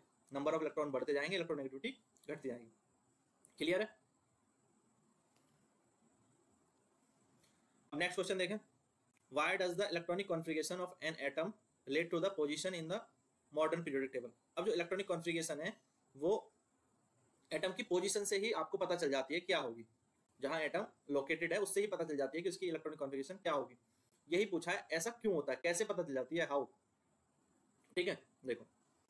तो मॉडर्न पीरियोडिक टेबल में जो एटम है, वो सिमिलर इलेक्ट्रॉनिक कॉन्फ़िगरेशन वाले एक साथ रखे गए हैं, यानी एक कॉलम में रखे गए सेम कॉलम में। सेम कॉलम का कहने का मतलब है कि जिनकी इलेक्ट्रॉनिक कॉन्फ़िगरेशन सेम है, उन्हें इस तरह से कॉलम में रखा गया है। ठीक है? जैसे हाइड्रोजन लिथियम सोडियम पोटेशियम ये सब एक कॉलम में रखे गए क्यों? क्योंकि इनकी जो इलेक्ट्रॉनिक कॉन्फ़िगरेशन है, वो सिमिलर है। इनके सब में वैलेंस सेल में इलेक्ट्रॉन बराबर होंगे। लास्ट वाले सेल में जो इलेक्ट्रॉन है, वो सेम होंगे सॉरी इसी तरह से सभी कॉलम में एलिमेंट्स को रखा गया है। और in a group the number of valence electron remain same अभी मैंने बताया वैलेंस इलेक्ट्रॉन जो है, किसी भी ग्रुप में आप देखोगे तो सेम होंगे। इसमें जैसे वैलेंस इलेक्ट्रॉन एक है, इसमें वैलेंस इलेक्ट्रॉन दो हैं। अंतिम कक्षा में जो इलेक्ट्रॉन है, उनको बोलते हैं वैलेंस इलेक्ट्रॉन इसमें तीन होंगे, इसमें चार होंगे, इसमें पाँच होंगे, इसमें छह होंगे, सात होंगे तो वैलेंस इलेक्ट्रॉन फिर आठ हो जाएँगे। इस तरह से जो अंतिम कक्षा में जो इलेक्ट्रॉन होंगे, वो सब में सेम होंगे। ठीक है? क्लियर अब नेक्स्ट देखें। In a modern periodic table calcium calcium का एटॉमिक नंबर कितना है? बीस। ठीक है? अब यहाँ देखेंगे, ये कैल्शियम का एटॉमिक नंबर है बीस। Is surrounded by the element of atomic number twelve nineteen twenty one thirty eight इसके चारों ओर देखो ट्वेल्व वाला मैग्नीशियम है नाइनटीन ये है पोटेशियम फॉस्फोरस है। ठीक है? और सॉरी पोटेशियम है, और स्ट्रॉन्टियम है, और यहाँ पर स्कैंडियम है। ये चार इलेक्ट्रॉन इसको घेर रहे हैं चारों तरफ़ से। Which of these have physical or chemical properties resembling the calcium इनमें किसकी फ़िज़िकल और केमिकल प्रॉपर्टीज़ किसके जैसी होनी चाहिए? कैल्शियम के जैसी होनी चाहिए। तो ये पूछा है। अब इसके चारों ओर ये चार एलिमेंट है। तो मैग्नीशियम और जो स्ट्रॉन्टियम है, इनकी जो फ़िज़िकल और केमिकल प्रॉपर्टीज़ होंगी, वो सेम होंगी किसकी? कैल्शियम क्योंकि ये सेम कॉलम में है। ठीक है हॉरिजॉन्टल इनकी प्रॉपर्टीज़ मैच नहीं करती पर कॉलम में जो होते हैं, उनकी सेम प्रॉपर्टीज़ होती हैं। तो हम इन दो को पिक करेंगे, ना कि दो साइड वालों को पिक करेंगे। तो कॉलम में जो प्रॉपर्टीज़ होती है, वो सेम होती है। सिंपल सी बात है, क्योंकि एटॉमिक नंबर कितना था? उसका बीस।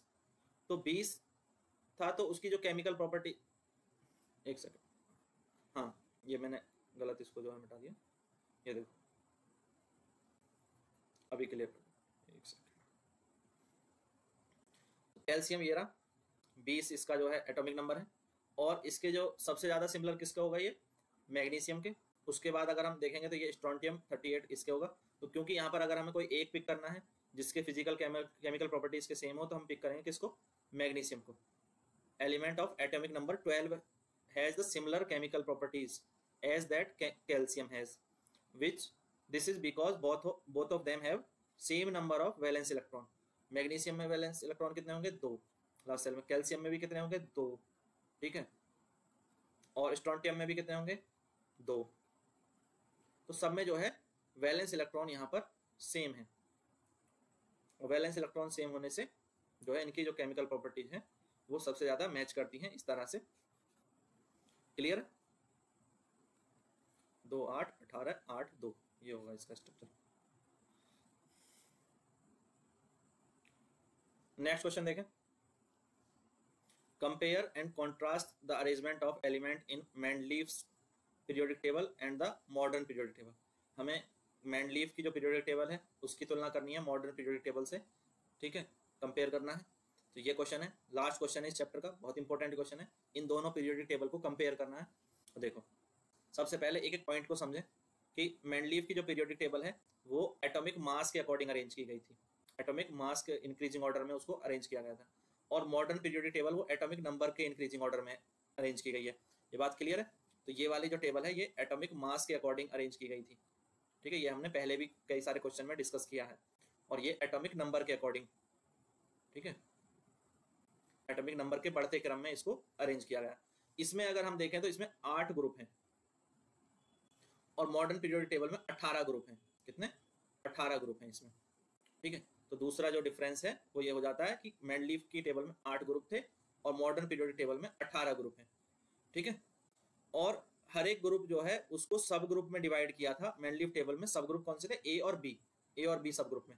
जबकि मॉडर्न पीरियड टेबल में सब ग्रुप नहीं है not sub divided into the sub group the groups are not sub divided into sub group तो ग्रुप ये इस तरह से डिवाइड किए गए थे। यहाँ देखो सब ग्रुप कहाँ है? इसमें अगर आप बीस के बाद जाओगे तो यहाँ देखोगे, एक ही ग्रुप के अंदर ऊपर और नीचे एलिमेंट रखे गए हैं, देखो। तो इस तरह से जो मैंडलीव की टेबल थी, उसमें सब ग्रुप थे। ठीक है, ये सब ग्रुप थे। ऊपर नीचे एलिमेंट्स को रखा गया था एक ही बॉक्स के अंदर और एक ही ग्रुप के अंदर। तो ए और बी में डिवाइड कर दिया। तो ऊपर वाला ए हो जाता था और नीचे वाला बी सब ग्रुप हो जाता था। ठीक है तो ए और बी सब ग्रुप में डिवाइड कर दिया था। इसमें कोई सब ग्रुप नहीं था मॉडर्न पीरियोडिक टेबल में। फिर group of noble gas was not present noble gas के लिए कोई ग्रुप अलग से नहीं बनाया गया था। ठीक है नोबल गैस इधर उधर थी, नोबल गैस का ग्रुप इसमें नहीं था, इसमें मैंडलीव के टेबल में। और जबकि यहाँ पर ग्रुप 18 में स्पेशली नोबल गैसेस को रखा गया है, ठीक है? मॉडर्न पीरियोडिक टेबल में। ये बात ठीक है? तो ये आप लिख लेंगे group of noble gas was not present as noble gas was not discovered at that time उस समय तक नोबल गैसेज की खोज ही नहीं हुई थी तो इसलिए नोबल गैस का कोई स्पेशल ग्रुप उसमें नहीं था। और हम मॉडर्न पीरियोडिक टेबल में separate group is mean for the noble gas a separate group is meant for the noble gases specially एक ग्रुप है जिसे हम बोलते हैं ग्रुप 18 क्या बोलते हैं? ग्रुप 18 या उसको हम एर्थ ए भी कहते हैं। एर्थ ए। ठीक है? There was no place for isotopes isotopes के लिए कोई स्थान नहीं था मेंडलीव के पीरियोडिक टेबल में। और उस वजह से जो है प्रॉब्लम होती थी क्योंकि वो टेबल एटॉमिक मास के अकॉर्डिंग थी और जिनका जो है एटॉमिक नंबर सेम होता था उनको कहाँ रखें? उनका एटॉमिक मास तो अलग है एटॉमिक नंबर सेम है। तो उनको एटॉमिक मास अलग होने से अलग अलग जगह रखना पड़ता, जबकि एलिमेंट वो सेम था। तो एक कंफ्यूजन क्रिएट हो जाती थी। यानी आइसोटोप्स को रखने की बड़ी समस्या थी, जब हम उसको एटॉमिक मास के अकॉर्डिंग अरेंज करते हैं। क्योंकि आइसोटोप्स में क्या होता है कि आइसोटोप्स जो होते हैं, उनके एटॉमिक नंबर तो सेम होता है। उनका एटॉमिक नंबर क्या होता है? सेम होता है but atomic mass different different होता है। एटॉमिक मास क्या होता है? वो सेम नहीं होता है। एटॉमिक मास नॉट सेम अब दिक्कत क्या है? जैसे कि हाइड्रोजन है वन एच वन और वन एच टू क्योंकि अगर हम एटॉमिक मास के अकॉर्डिंग अरेंज कर रहे हैं तो इन दोनों के लिए अलग अलग स्थान होना चाहिए, जो कि नहीं दिया गया था। जो कि मेडलिव के टेबल में नहीं था। अब मीडर मॉडर्न पीरियोडिक टेबल जो थी, वो एटॉमिक नंबर के अकॉर्डिंग थी, और क्योंकि इनका एटॉमिक नंबर सेम है तो उन्हें अलग अलग स्थान की ज़रूरत ही नहीं थी। यानी ये प्रॉब्लम रेक्टिफाई हो गई थी किसमें? This problem has been rectify ये आपको दिख नहीं रहा होगा तो मैं बोल देता हूँ this problem has been rectify as slot are determined according to atomic number atomic number के अकॉर्डिंग रखने से ये प्रॉब्लम खुद ही रेक्टिफाई होगी आइसोटॉप्स को अलग से स्थान देने की ज़रूरत ही नहीं पड़ी। पर मैंडलीव की टेबल में ये ज़रूरत थी, उनको देना चाहिए था, पर दिया नहीं था। यानी उसको आइसोटॉप्स को अलग जगह देनी पड़ती, और वो दी नहीं गई। आइसोटॉप्स तो थे ना one H one one H two one H three ये तो थे, पर उनके लिए अलग अलग स्थान नहीं था। आप इस टेबल में देखोगे तो हाइड्रोजन यहाँ रखा, पर इसमें ये वन एच वन है कि वन एच टू है कि वन एच थ्री है? कहाँ है? अब यहाँ पर क्योंकि इनका एटॉमिक नंबर सबका सेम है तो ये एक ही जगह रखा जा सकता है इजीली कोई दिक्कत ही नहीं तो ये प्रॉब्लम इस तरह से सॉल्व हो गई थी। तो ये बात आप सारी समझ गए। तो ये हमारा चैप्टर यहीं पर कंप्लीट होता है। क्लियर है? कोई प्रॉब्लम है तो आप जो है कमेंट कर सकते हैं। ठीक है? आप, आपके डाउट जो है, वो मैं बताने की कोशिश करूँगा, या आपका जो कोई क्वेश्चन है तो वो क्वेश्चन आप जो है मुझे भेज सकते हैं। ठीक है? उसके लिए आपको जो है इंस्टाग्राम का भी लिंक दिया हुआ है फेसबुक का भी है, आप क्वेश्चन वहाँ पर पूछ सकते हैं। बाकी इसकी पीडीएफ आपको जो है, वो टेलीग्राम ग्रुप में मिल जाएगी। और टेलीग्राम ग्रुप का जो लिंक है, वो ये नीचे यहाँ पर दिया हुआ है, देखो, द स्टडी अड्डा, ये टेलीग्राम ग्रुप लिंक है, इसी नाम से जो है इंस्टाग्राम पर फेसबुक पर टेलीग्राम पर मिल जाएगा पीडीएफ आपको टेलीग्राम पर प्राप्त हो जाएगी, ठीक है? वहाँ से आप डाउनलोड कर सकते हैं इन सबको। क्लियर है? Thank you guys thanks for watching